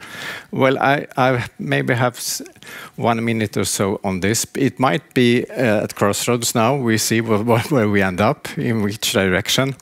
Uh, there's a lot on the legislators' table. Uh, all of these uh, uh, different strategies. And well, the food contact sector, that's the blue fog in, in behind all of this. But the EU Commission has tried to box it in, in, in these five boxes then. And just as a short uh, uh, reminder that on what we see as, as main topics here, that there be, will be a more focus on the end materials, what is actually migrating from them to the food.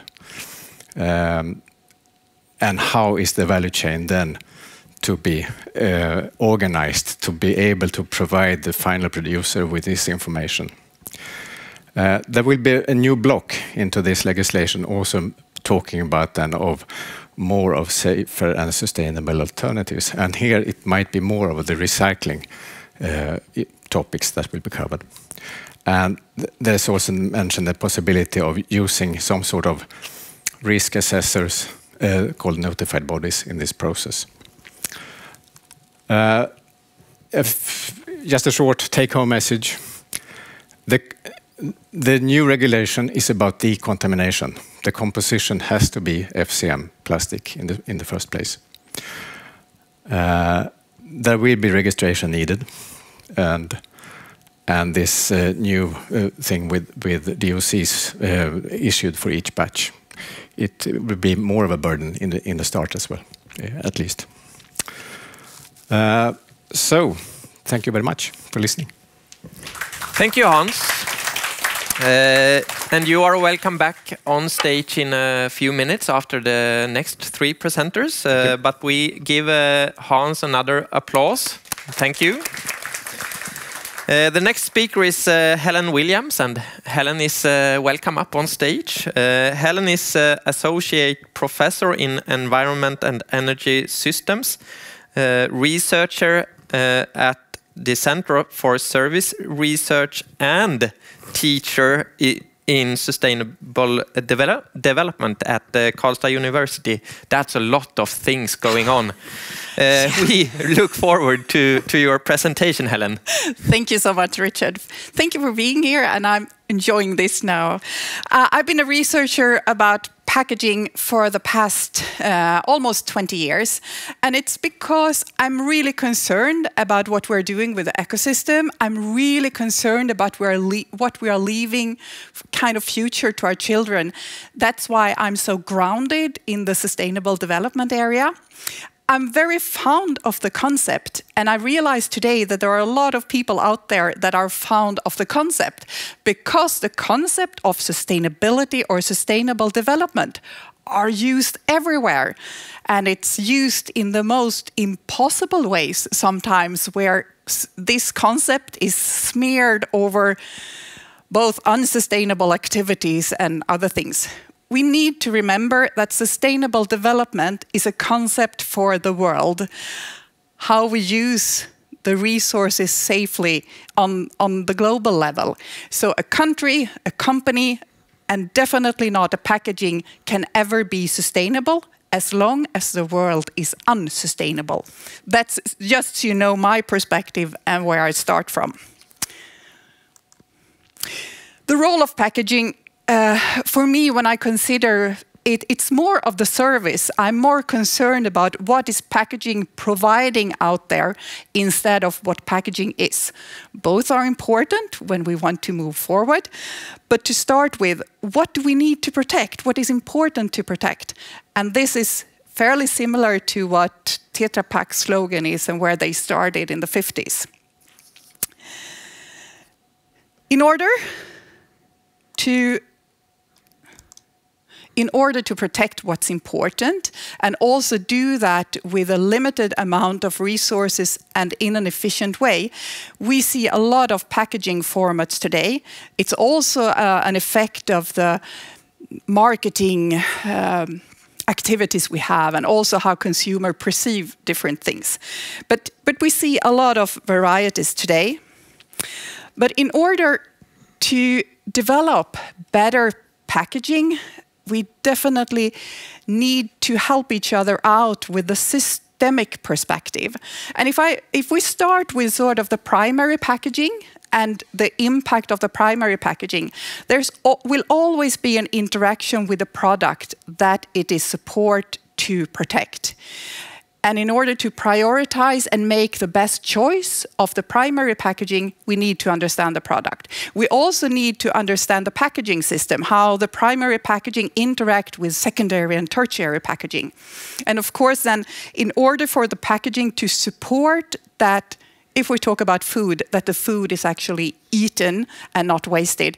We need to understand more about the consumer behavior, their needs, and what we can accomplish in a better way. Therefore, we also need to look at the context, like the society, because there are different ways of recycling and how society has organized that. And in order to make a more sustainable packaging, we need to also take into account how is the recycling uh, developed in the different countries. one one different tool, so to say, that you can use in order to understand the how much material you can use to save a product. This simple quota between the food and the packaging is one simple way of understanding where you should put your resources into. If we take when the number is one, you have equal climate impact from the packaging as you have of the food. Me being a salsa producer, which is the one here with in glass jars, I would definitely like think oh, 50% of the climate impact comes from the packaging. We really need to do some work here in order to reduce the impact of packaging so that it doesn't take half of the impact of the product. If I'm on top here, producing meat or cheese or even rice is an example there. Products with high climate impact, where the product represent 99% of the climate impact and the packaging 1%. It's all about reducing food waste. How can you improve your packaging so that the food, the food that we have used so much resources to, that it's not wasted? So then if we move to the, the bottom part here, when we move below one and we go to like a PET bottle with water, where you have hardly no climate impact from the product itself, it's little. All of the climate impact comes from the packaging and the transport. If I'm a producer in that segment, where the packaging represents such a high impact of the, the product packaging system, I would definitely start to think about, is this the right way of doing it? Uh, can we choose other packaging formats or do we actually need to develop better uh, business models in order to reduce this? Is it sensible in the future, in a more sustainable future, to, to package water in plastic bottle and transport them around the world? It's a question, just to think about it, how can we develop the system to be better prepared for a sus sustainable society?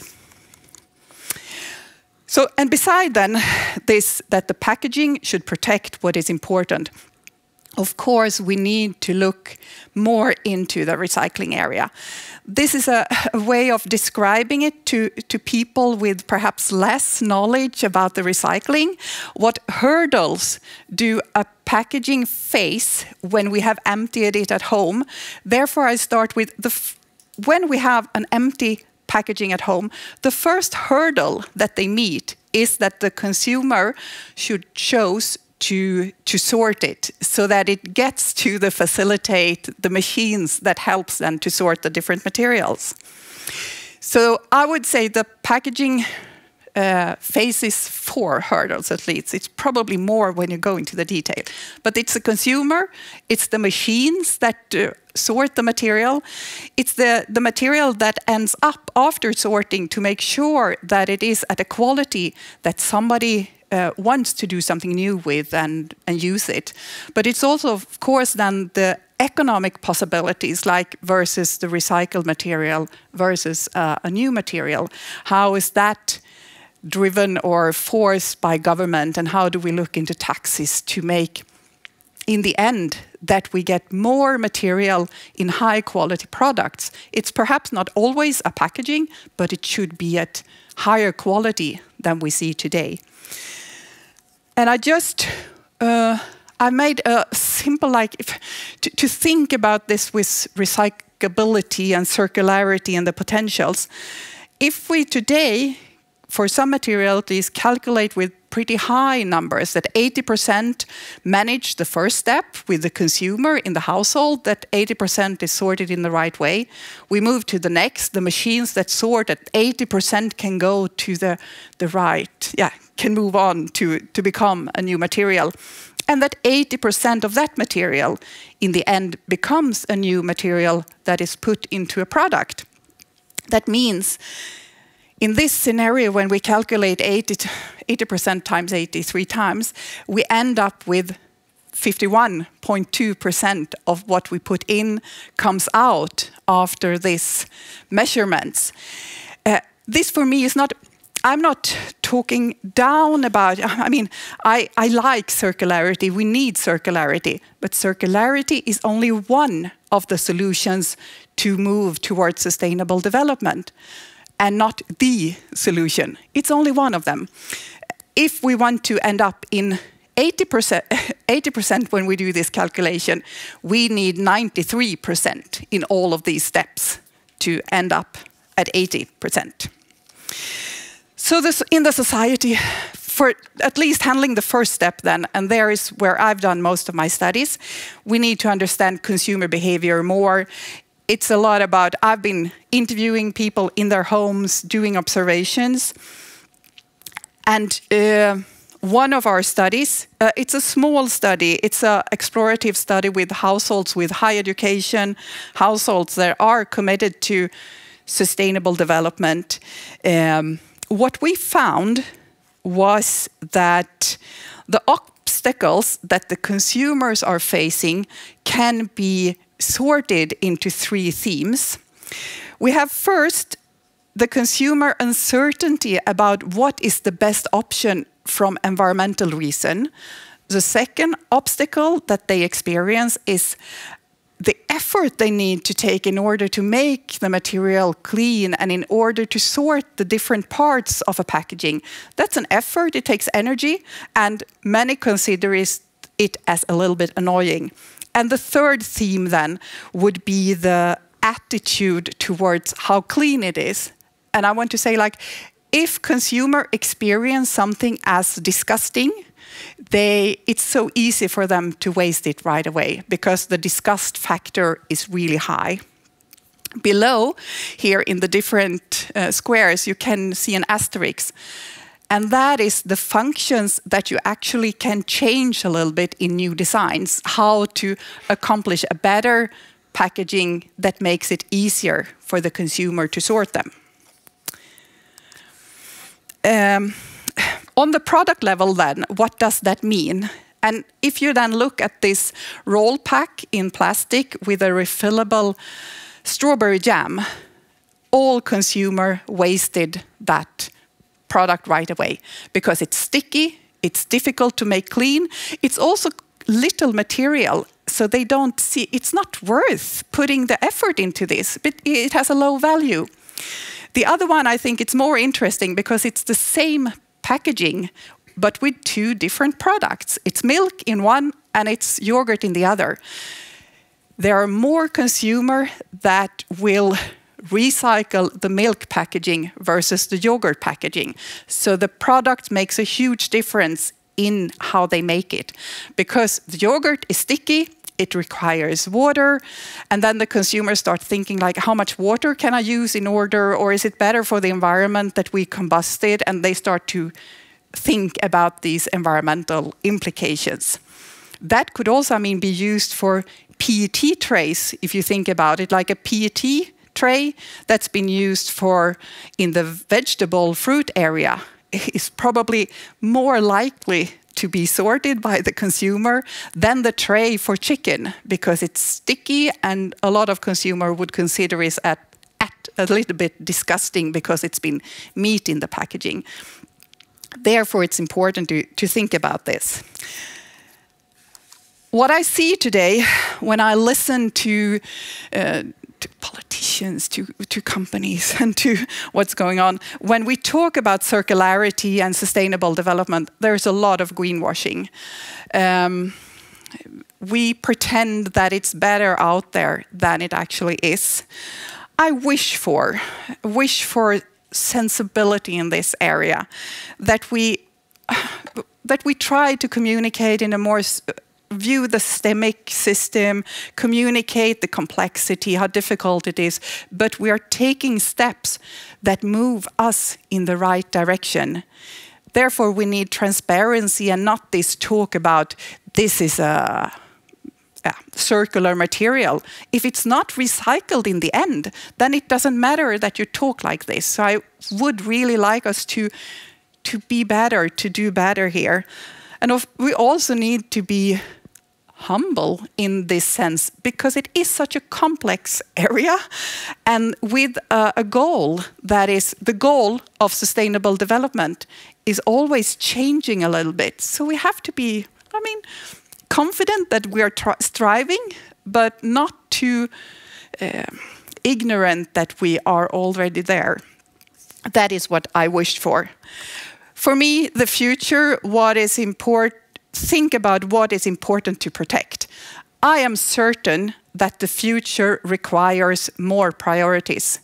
What should we protect and what should we actually stop doing? There's a lot of things that we need to stop in order to, to transform to sustainable development. We need the systemic perspective. Uh, we need to understand consumer and behavior. What are they doing? And that's also then the contextual thing, like what do we understand about how we do it here? That requires huge amount of collaboration. If you want to know more, there are studies out there and also a pretty new report that summarizes our research for the past years. Thank you.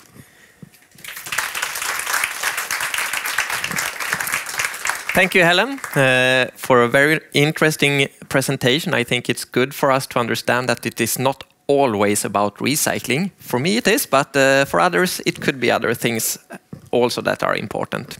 So we will uh, continue uh, and with the next presenter. It is uh, Jean-Emile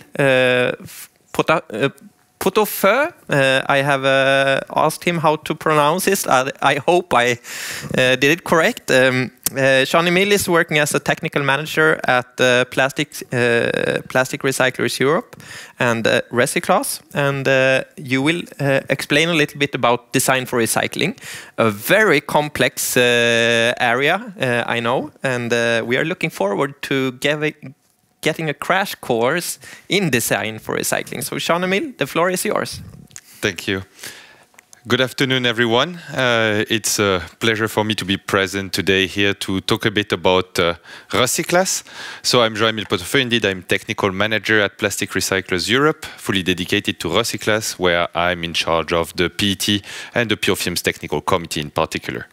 But for those of you who are not aware about uh, what RecyClass is, RecyClass is a technical uh, cross-industry initiative uh, that is um, that is advancing recyclability, uh, bringing transparency to the origin of plastic waste, as well as establishing harmonized uh, let's say harmonized the approach toward recycled uh, toward recycled plastic traceability and uh, calculations.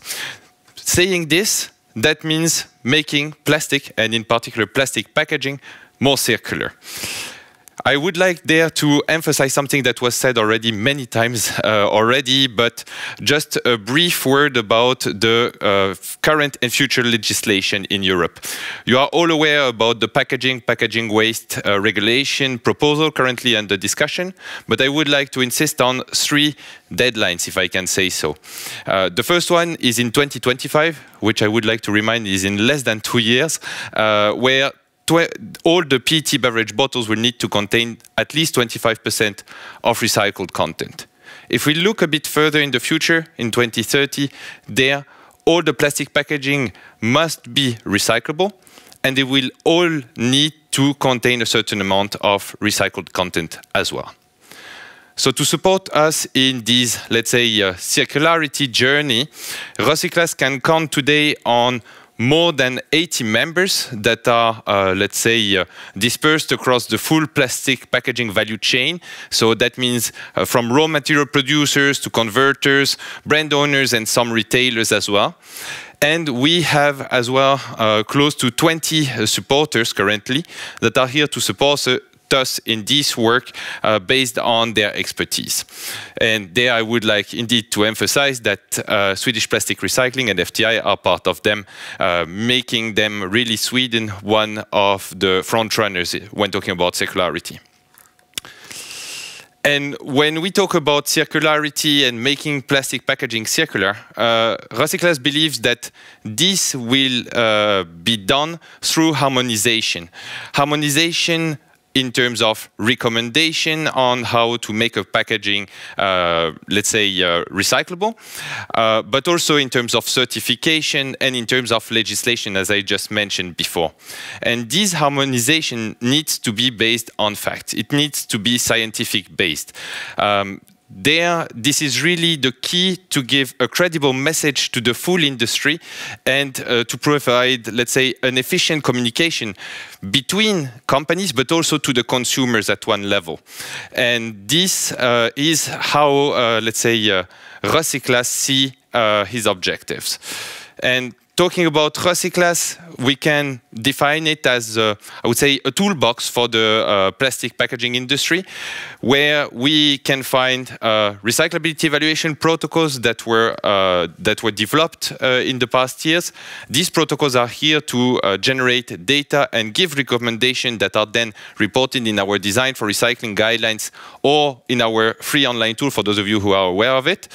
And in addition to this, we have, of course, certifications that we developed, one for uh, recyclability and two for recycled content and recycled plastic uh, traceability. So enough speaking about RecyClass, let's talk a bit more about uh, what RecyClass is doing for the PET. As I was mentioning, there, uh, the idea is to uh, have a fact-based approach. So that means really performing lab testing in order to evaluate how plastic packaging features such as barriers, adhesives, additives uh, are impacting the quality of the recyclate or are impacting the recycling process. There we are based on, let's say, the current state-of-the-art recycling uh, process in Europe. With this data generated, we can then give recommendations that are there reported in our design for recycling guidelines and then reflected in our certification and, uh, let's say, self-assessment online tool. So talking about the PET more particularly, we, uh, as RecyClass, are endorsing today two recyclability evaluation protocols that were respectively developed by EPBP, so the European Platform for uh, PET Beverage Bottles, and uh, Petcore Europe uh, that are addressed to PET bottles and PET trays respectively. In addition to this, you can find several quick test procedures that are here to uh, target more specific features. For instance, uh, is the ink of the packaging bleeding or is the adhesive uh, washable uh, during the, the, washing process of the uh, uh, way um, uh, of the PET washing treatment. I highlighted there as well uh, the sorting protocol that uh, RecyClass have in place uh, that can be performed in some uh, recycling lines. Uh, this is indeed at least as important as uh, the recyclability because if you make all the effort to make a packaging designed for recycling, then it needs at least to reach the recycler. So that means that during the sorting step, we should not have any negative effect related to the shape, related to the decoration, or related to the composition of the packaging. Talking about the PET bottles, uh, there as we are talking about circularity, the objective is indeed to go for a bottle-to-bottle -bottle approach. So here, uh, RecyClass and the PBP uh, signed the cooperation agreement uh, a bit more than a year ago uh, that now uh, leaves RecyClass as uh, being in charge of managing all the testing and applications are dedicated to the PET uh, bottles. So that means that if tomorrow your company, for instance, is uh, developing a new barrier solution or if it's developing a new additive and you want to assess how uh, what will be the impact on the recycling of this element, then you can contact RecyClass and with the support of our recognized testing facilities, we can make this project all together. Of course, EPBP is still present as a support and is in particular in charge of developing new protocols uh, to target, for instance, new, new features. Here you can see an example of the design for recycling guidelines that we developed. Uh, here it's the one for transparent, clear, and light blue PET bottles. We have another one for colored PET bottles, as you understood uh, from the previous presentation, that this is also a valuable uh, stream uh, when talking about PET. And uh, EPBP is also uh, currently developing, let's say, new guidelines as well for another, let's say, alternative stream for PET bottles that is the opaque uh, PET stream. As RecyClass is uh, willing to be, let's say, a transparent initiative, there uh, I would like to present you a bit the work plan that we have in our PET technical committee for this year. And in particular, I would like to insist on three points. The first one that was also, I think, raised as a question in the audience in the previous, uh, in the previous session is related to the yellowing uh, causes of rPET. Indeed, uh, I mean, if we want to go for circularity, PET bottles will need not only to close the loop once, but several times. And we are all aware that PET tends to yellow with, I mean, the different uh, recycling loops. But of course, this yellowing in some I would say in uh, some cases can be avoided or limited. And there I'm in particular thinking about the presence of some elements such as some adhesives, some uh, barriers elements like polyamide, uh, for instance, or some specific additives as well. So here it is really important to determine which are the root cause of this yellowing and then to give recommendation to the industry on maybe which features to avoid or which one to use in order to limit as much as possible this yellowing effect. And then that means also to uh, ensure that we can go through as many cycles as possible with these uh, PET uh, bottles. The, just to note that uh, this, uh, let's say, uh, work will be done also in cooperation with our uh, colleague from the US in APR uh, in order to, let's say, join our efforts. The second uh, point I wanted to highlight here today is related to soluble and washable adhesives. Indeed, uh, talking about adhesives, pressure-sensitive labels, for instance, there uh, we are aware that during the washing treatment, uh, not all of these labels can be removed. And that's, of course, related to the nature of the adhesive. So here, for this year, RecyClass is planning to perform tests in order to uh, check which chemistry of adhesive, for instance, can be highlighted as an issue in terms of, washabi uh, of washability, uh, and which adhesives are, on the opposite, fully compliant with the current recommendations. And that will come, of course, with the uh, mapping of the state of the art of the washing uh, technologies used today by PET recyclers in Europe to ensure that there we are, let's say, having everyone on the same table. Now, a few words about the PET trays. Uh, here, as I mentioned, uh, these guidelines, uh, even though endorsed by RecyClass, is developed by Petcore Europe. Uh, and here you can see it's related to transparent, clear mono PET trays. Uh, I didn't give a lot of clarification on these guidelines, but uh, as you can see, they are based on the traffic light color system with the all, or at least a majority of the of these, uh, let's say, packaging features present, uh, either as defined as full compatible, limited compatible, or low compatible. Even though limited compatibility, there is this word limited that sometimes is uh, can cause some uh, issue. I want to insist on the fact that uh, here these guidelines are uh, made for circularity. So that means that limited compatible with circularity, you can still, you are still, let's say, compatible. Uh, I highlighted there also one point saying that Petcore is currently uh, investigating on developing a new guidelines for colored multi-layer trays, uh, but I will not speak about it today. Uh, talking about the design of PET trays, one of the key elements and one of the key questions we are uh, often receiving is related to lidding films. Uh, how to design them, which uh, polymer to use, for instance. There, as always, we are privileging a monomaterial approach, meaning that if you can go with an unprinted PET uh, lidding film, that's for the best. Otherwise, you should use a lidding film that can be separated by density during the recycling process. So that means uh, polyolefin films, for instance.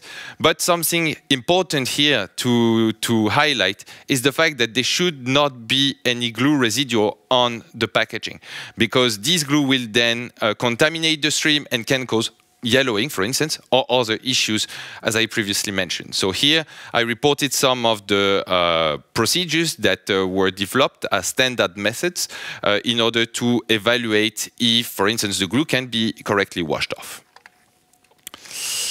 And talking about recyclability, I would like to close uh, the topic here uh, with a word on the packaging packaging waste regulation proposal and the current alignment with RecyClass certification. Here, it's good to see that uh, both the Commission and our organizations are uh, defining that a packaging can be called recyclable only if it contains at least 70% of a uh, of one single material. Otherwise, you will end up in a class E or a class F, uh, and you will not be able, if the proposal remains, to uh, um, to claim that your packaging is recyclable by 2030. As I see I have uh, two minutes left, I will just give you, um, let's say, a few words about what RecyClass is doing uh, for the recycled content. So I talked to you about some uh, certification that we developed. Here, uh, the what RecyClass aims for is to ensure traceability of uh, the uh, plastic waste and of the recycled content, transparency as well of what uh, of how much recycled content contains a packaging, and then that's of course to uh, give trust between all the actors and the consumers. Um, so here, uh, if we go a bit more in the details, that means that the origin of the waste must be verified uh, through an audit or certification. Also, that the recycled content uh, based on inputs plastic waste uh, calculation must refer to the real percentage present in the plastic uh, packaging. So that means no free allocation, for instance. And we are also taking into account the environmental impact of the recycling process. For those of you who would be interested, uh, here are the two uh, certifications. Uh, so one dedicated to the recycling process, the other one to the traceability of the recycled uh, plastic. So there, that means that all the different actors of uh, the uh, value chains are, let's say, involved in these two certifications. So I would like to, to wrap up saying that uh, RecyClass is indeed uh, a toolbox today that uh, uh, is here to support the industry in this uh, journey to circularity. And uh, if there are questions, I will be more than happy to answer them later.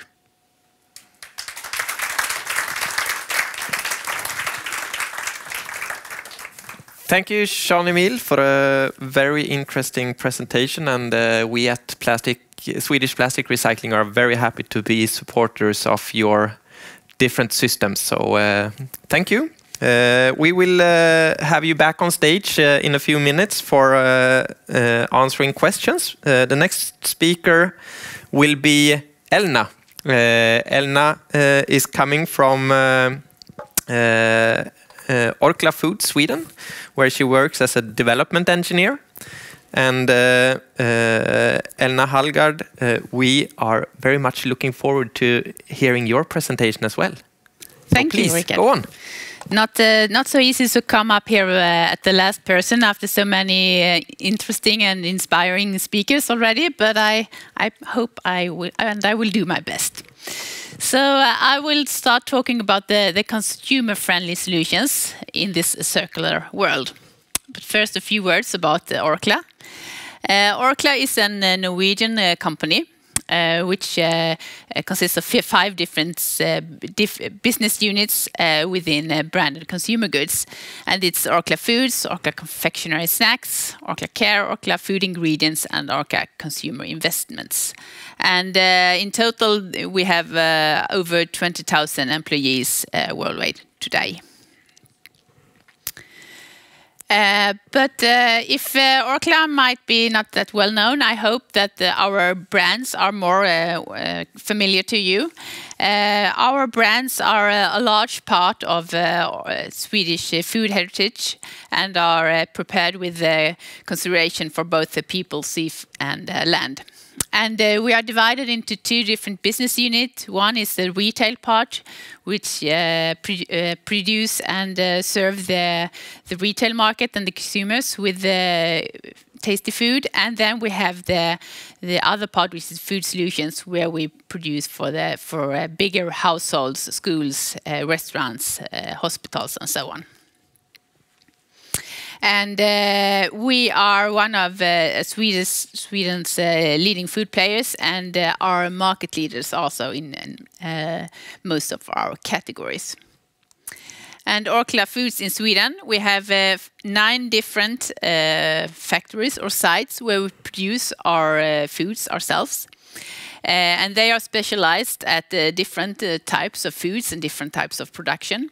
And for this, we need, need and use all types of package material like metal, glass, paper and plastic, of course, and and different kind of plastics and, and uh, PET, uh, of course. And I will come back to the use of PET later on.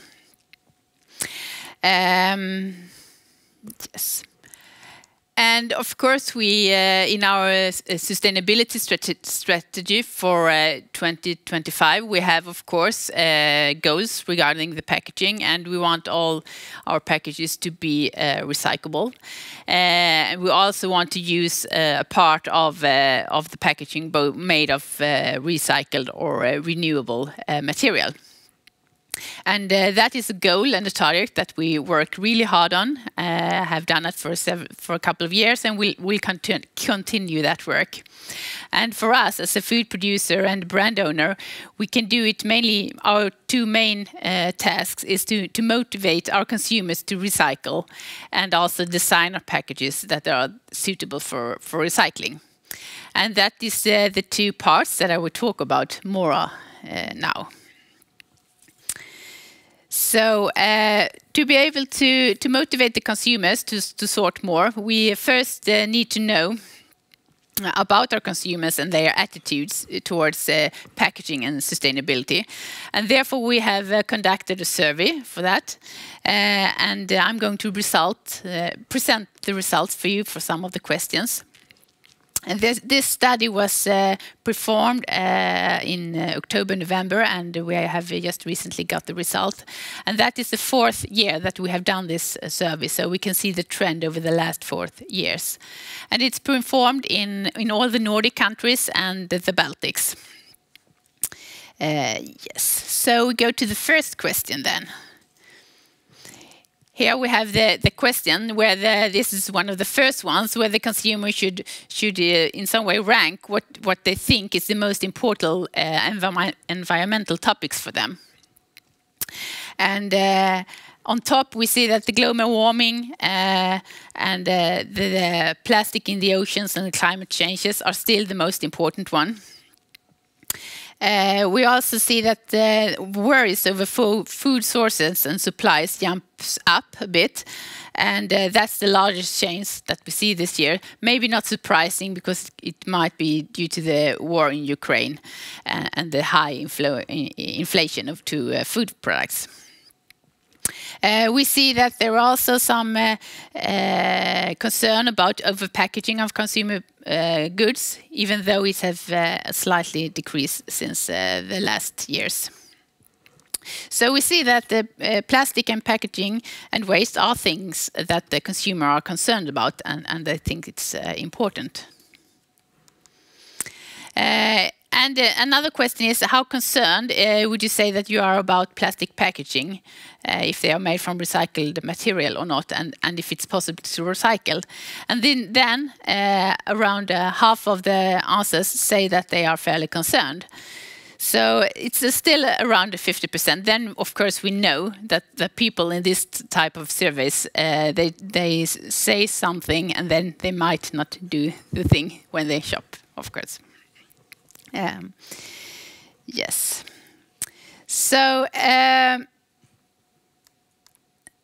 here we have uh, four different statements. Uh, and the first one uh, for uh, the importance of having products packed in recyclable packagings uh, seems to have a slightly negative trend, but it's not uh, significant.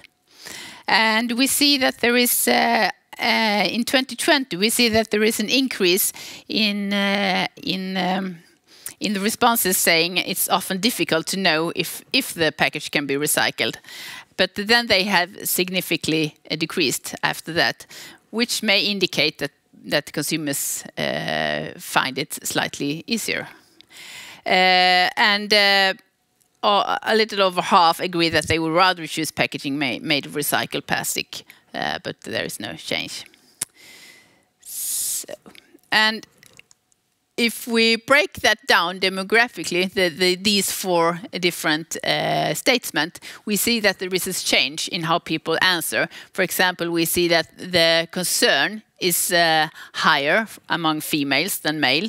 We also see that there is a higher concern uh, the elderly, the people get uh, uh, for these types of questions, which I think is uh, quite interesting. So uh, the previous slides show us that there is an interest from the consumers to know if the package is, recyclable uh, uh, or not. And uh, as uh, Helen also said, it's very important for us to make the package uh, be able to re recyclable and do it as easy as possible. it could be, for example, to make it very easy to empty or easy to to uh, take the parts, uh, take the different parts uh, separately, and that there is not so much grease around it. And another thing that we can do, uh, at least, is to have the clear sorting instructions to keep them in quite big letters and have these uh, pictograms on the package as well to uh, even more make it easier. And a third way thing that we have done is have a cooperation with Bower, which is an app where you can register when you sort your package and then you can get a small refund to, to uh, increase the uh, attention to this topic and make it, maybe make it a little bit more uh, fun. So then I would go back, uh, go further and talk about the other part, how we can uh, work with the designing packages for recycling. And the first question is, is of course, uh, why we will like to choose uh, PET as package material. For us, it could be that it's quite light in weight, uh, especially if you compare to glass, and then also mean it's a lower climate impact. It's quite uh, high strength, hardness, stiffness, which could be good for uh, certain types of applications. It could be both colored or really transparent, like glass. Uh, and also it could be formed in line. We have it in the productions line where we, we where we form the bottles in the line, which create a quite effective uh, process and, and produce less energy. Then today, rPET is uh, approved for food contact, which means that we can have rPET within the package uh, as well, which is not possible for other plastic in that way today. Uh, but not to forget that the main purpose of the package is to protect the product and protect from food waste. So that's uh, where we have the most important environmental uh, impact of the package. Uh, and um, the package must preserve and, and uh, preserve the quality and the taste the whole uh, shelf life. And different products have different types of re requirements. Some uh, products are more sensitive than others for chemical or uh, microbial breakdown. Uh, and uh, for example, if you have a product without preservatives or, or, or so, uh, that they might be even more sensitive and have uh, requirements of a certain barrier or so. And then there could also be certain design elements, uh, or that you want to use different certain colors to to differentiate from others, or or to make the consumer find the package uh, in the stores. So, so, so the product itself have have their requirements, And then, of course, uh, we also want to fulfill these uh, recycling uh, criteria, so the package is recyclable. And here is some of the criteria that uh, they look today. And we look, of course, both on the Swedish uh, Svensk Plaståtervinning, but also on the, on the criteria, and try to fill, fulfill them as much as possible. In some parts, it's easier, and some parts we have to work more with. And so our challenge, as we see it, is, is to, to combine these uh, two uh, challenges into one. We both to have the both be able to fulfill the recyclability, but also the the product uh, requirements.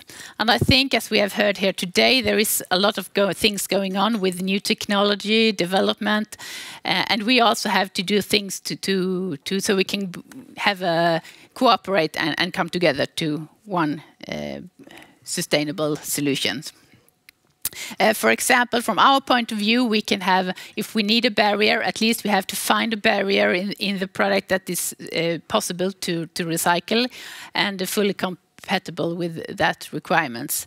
And of course, if we would like to have to use a color, we might think of use less color or, or use a certain type of color, which also com, um, comply with the, the recyclability requirements.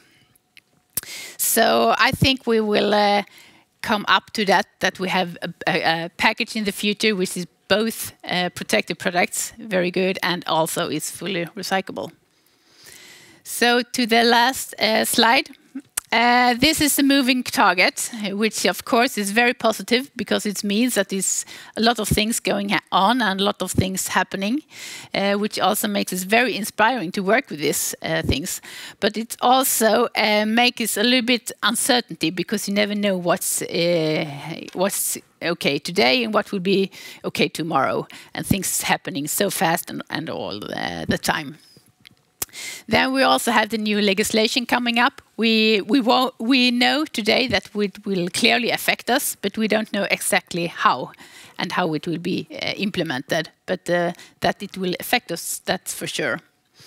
Um, and then at the the last point is that we still need to to uh, to um, to um, uh, communicate with our cons uh, consumers and to inform and inspire them and uh, let them know how important it is to, to recycle and sort uh, their packages. Thank you.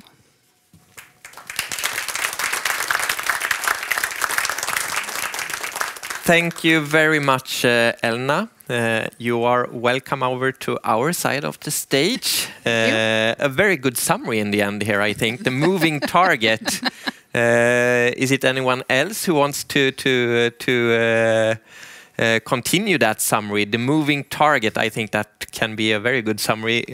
how is it for you, Hans? Is it a moving target, food contact materials? At the crossroads, and see what what is the exit. uh, I don't know really. Uh, there are good things in, in, good ideas, I would say, also from the legislators, and understanding the complexity of all, all of this. So, so um, let, let it be a moving target then. yes. How about consumer behaviors? Are they constant? Definitely not. they are moving the whole time.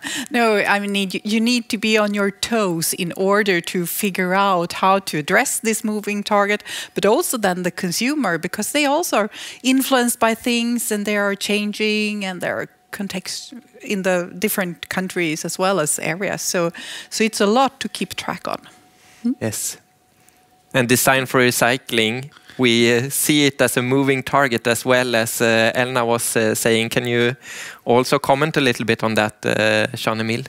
Yeah, for sure. Uh, I would say that there is always room for improvement anyway, uh, and I think that the industry needs to to evolve to ensure that some elements, for instance, that were used in the past in packaging are not used in the future in order to, to close the loop.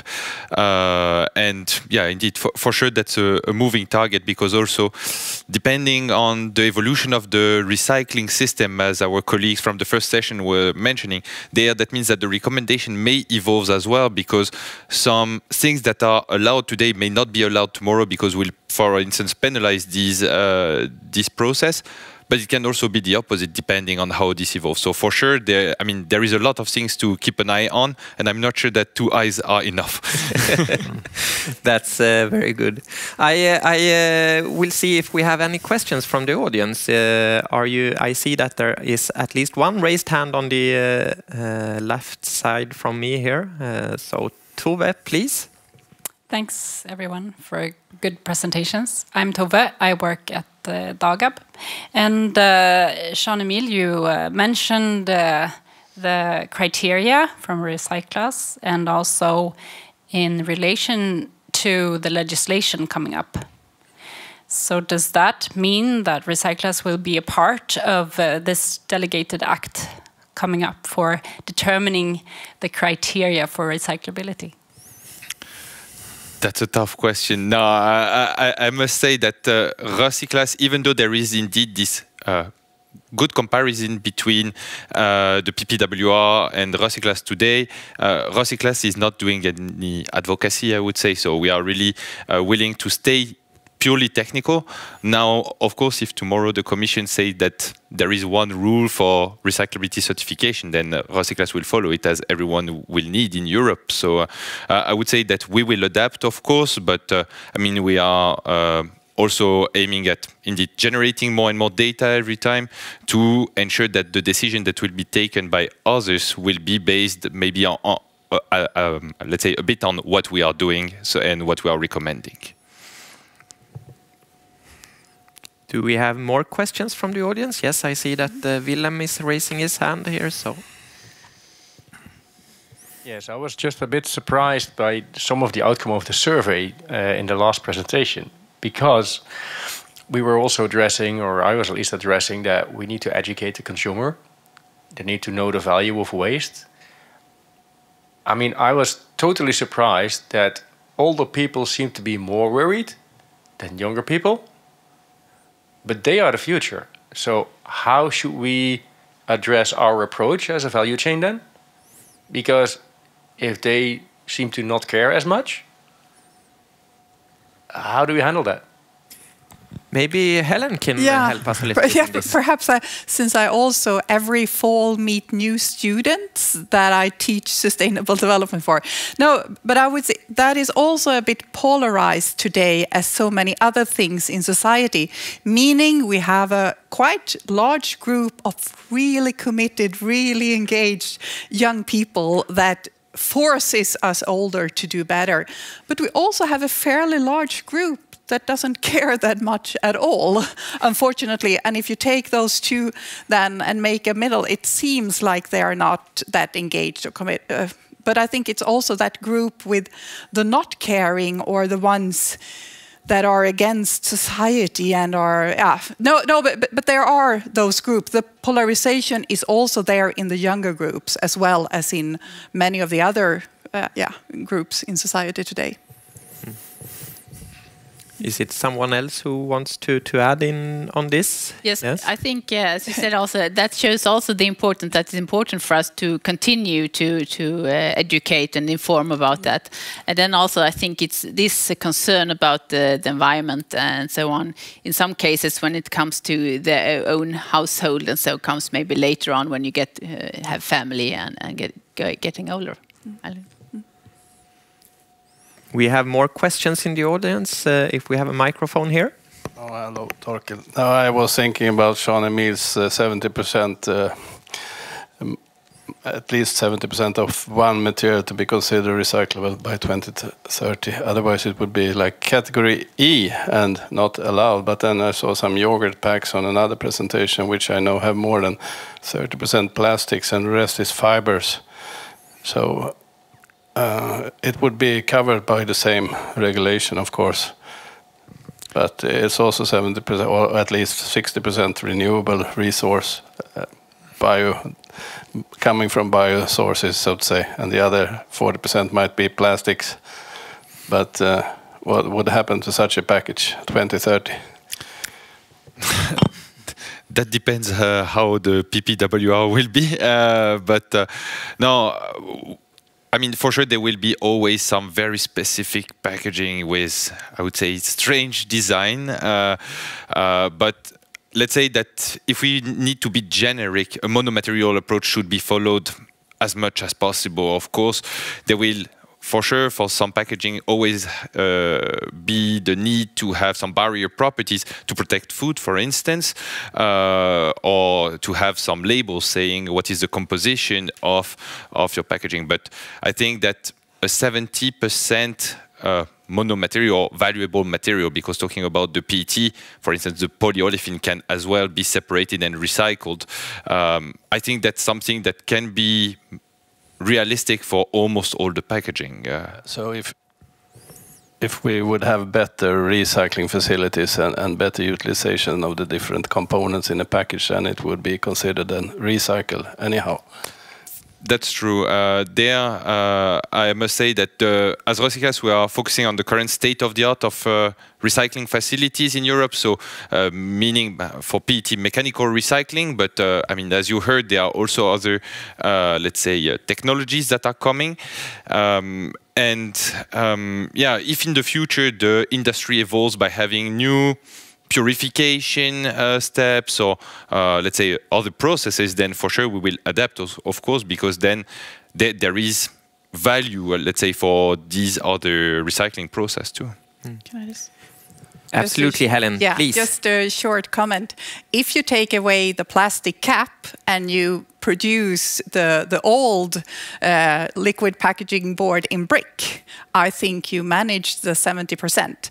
So it might also be a revival of some products that we had years ago if you if you change it again.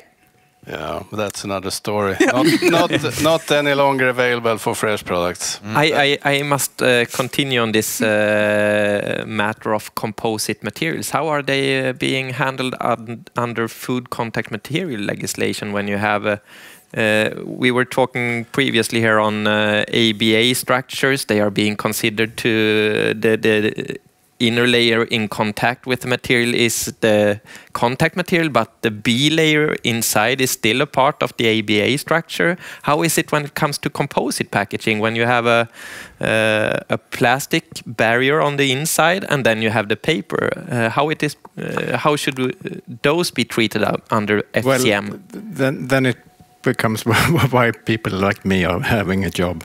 It's it's it's getting a bit complicated more than it's perhaps should be. And, and how, how do you assess these layers and how do you assess the, the complete system or, or construction? And maybe that is something that at least the, the Commission has seen that we, we need to improve uh, how we put down the requirements. So, but we're not really there yet. And again, the plastic is harmonized on the EU level. The other parts might be not. And, and how do you make a system of the risk assessment anyway. Mm. So uh, it wasn't an answer, but just an explanation of it the situation. It is complicated. yeah, but it's not advanced. It's only complicated. Yeah. Uh, the plastic is sometimes being seen as a, a bad material, uh, Elna. Uh, how do you see on the development from moving from plastics into more fiber materials? Is that uh, something that is very common in uh, in Orkla as well? Uh, well, uh, we are uh, looking into the, the goals that I, I showed, and I think uh, we have to look on the total picture, which is the best alternative for this product in this case for the consumer and for the environment.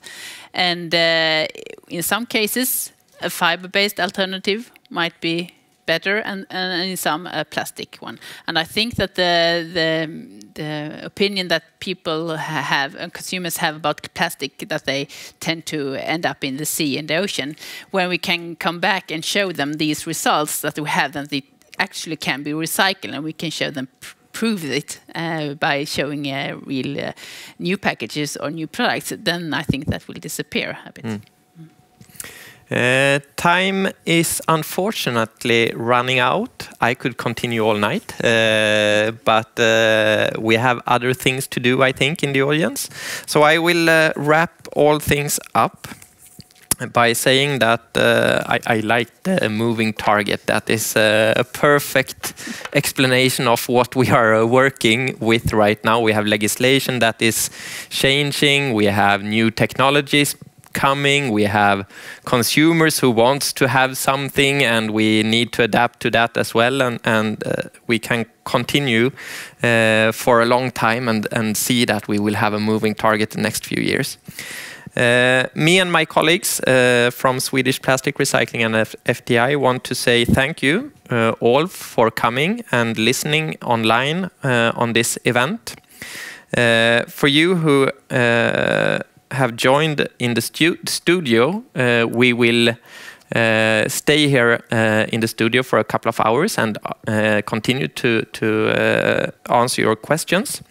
Um, we will also, after the, this uh, event, we will publish uh, the recorded event uh, so that you can see it afterwards. Uh, and uh, with that said, I hope to see you again uh, next year, hopefully when we do something similar to this. So thank you all for listening.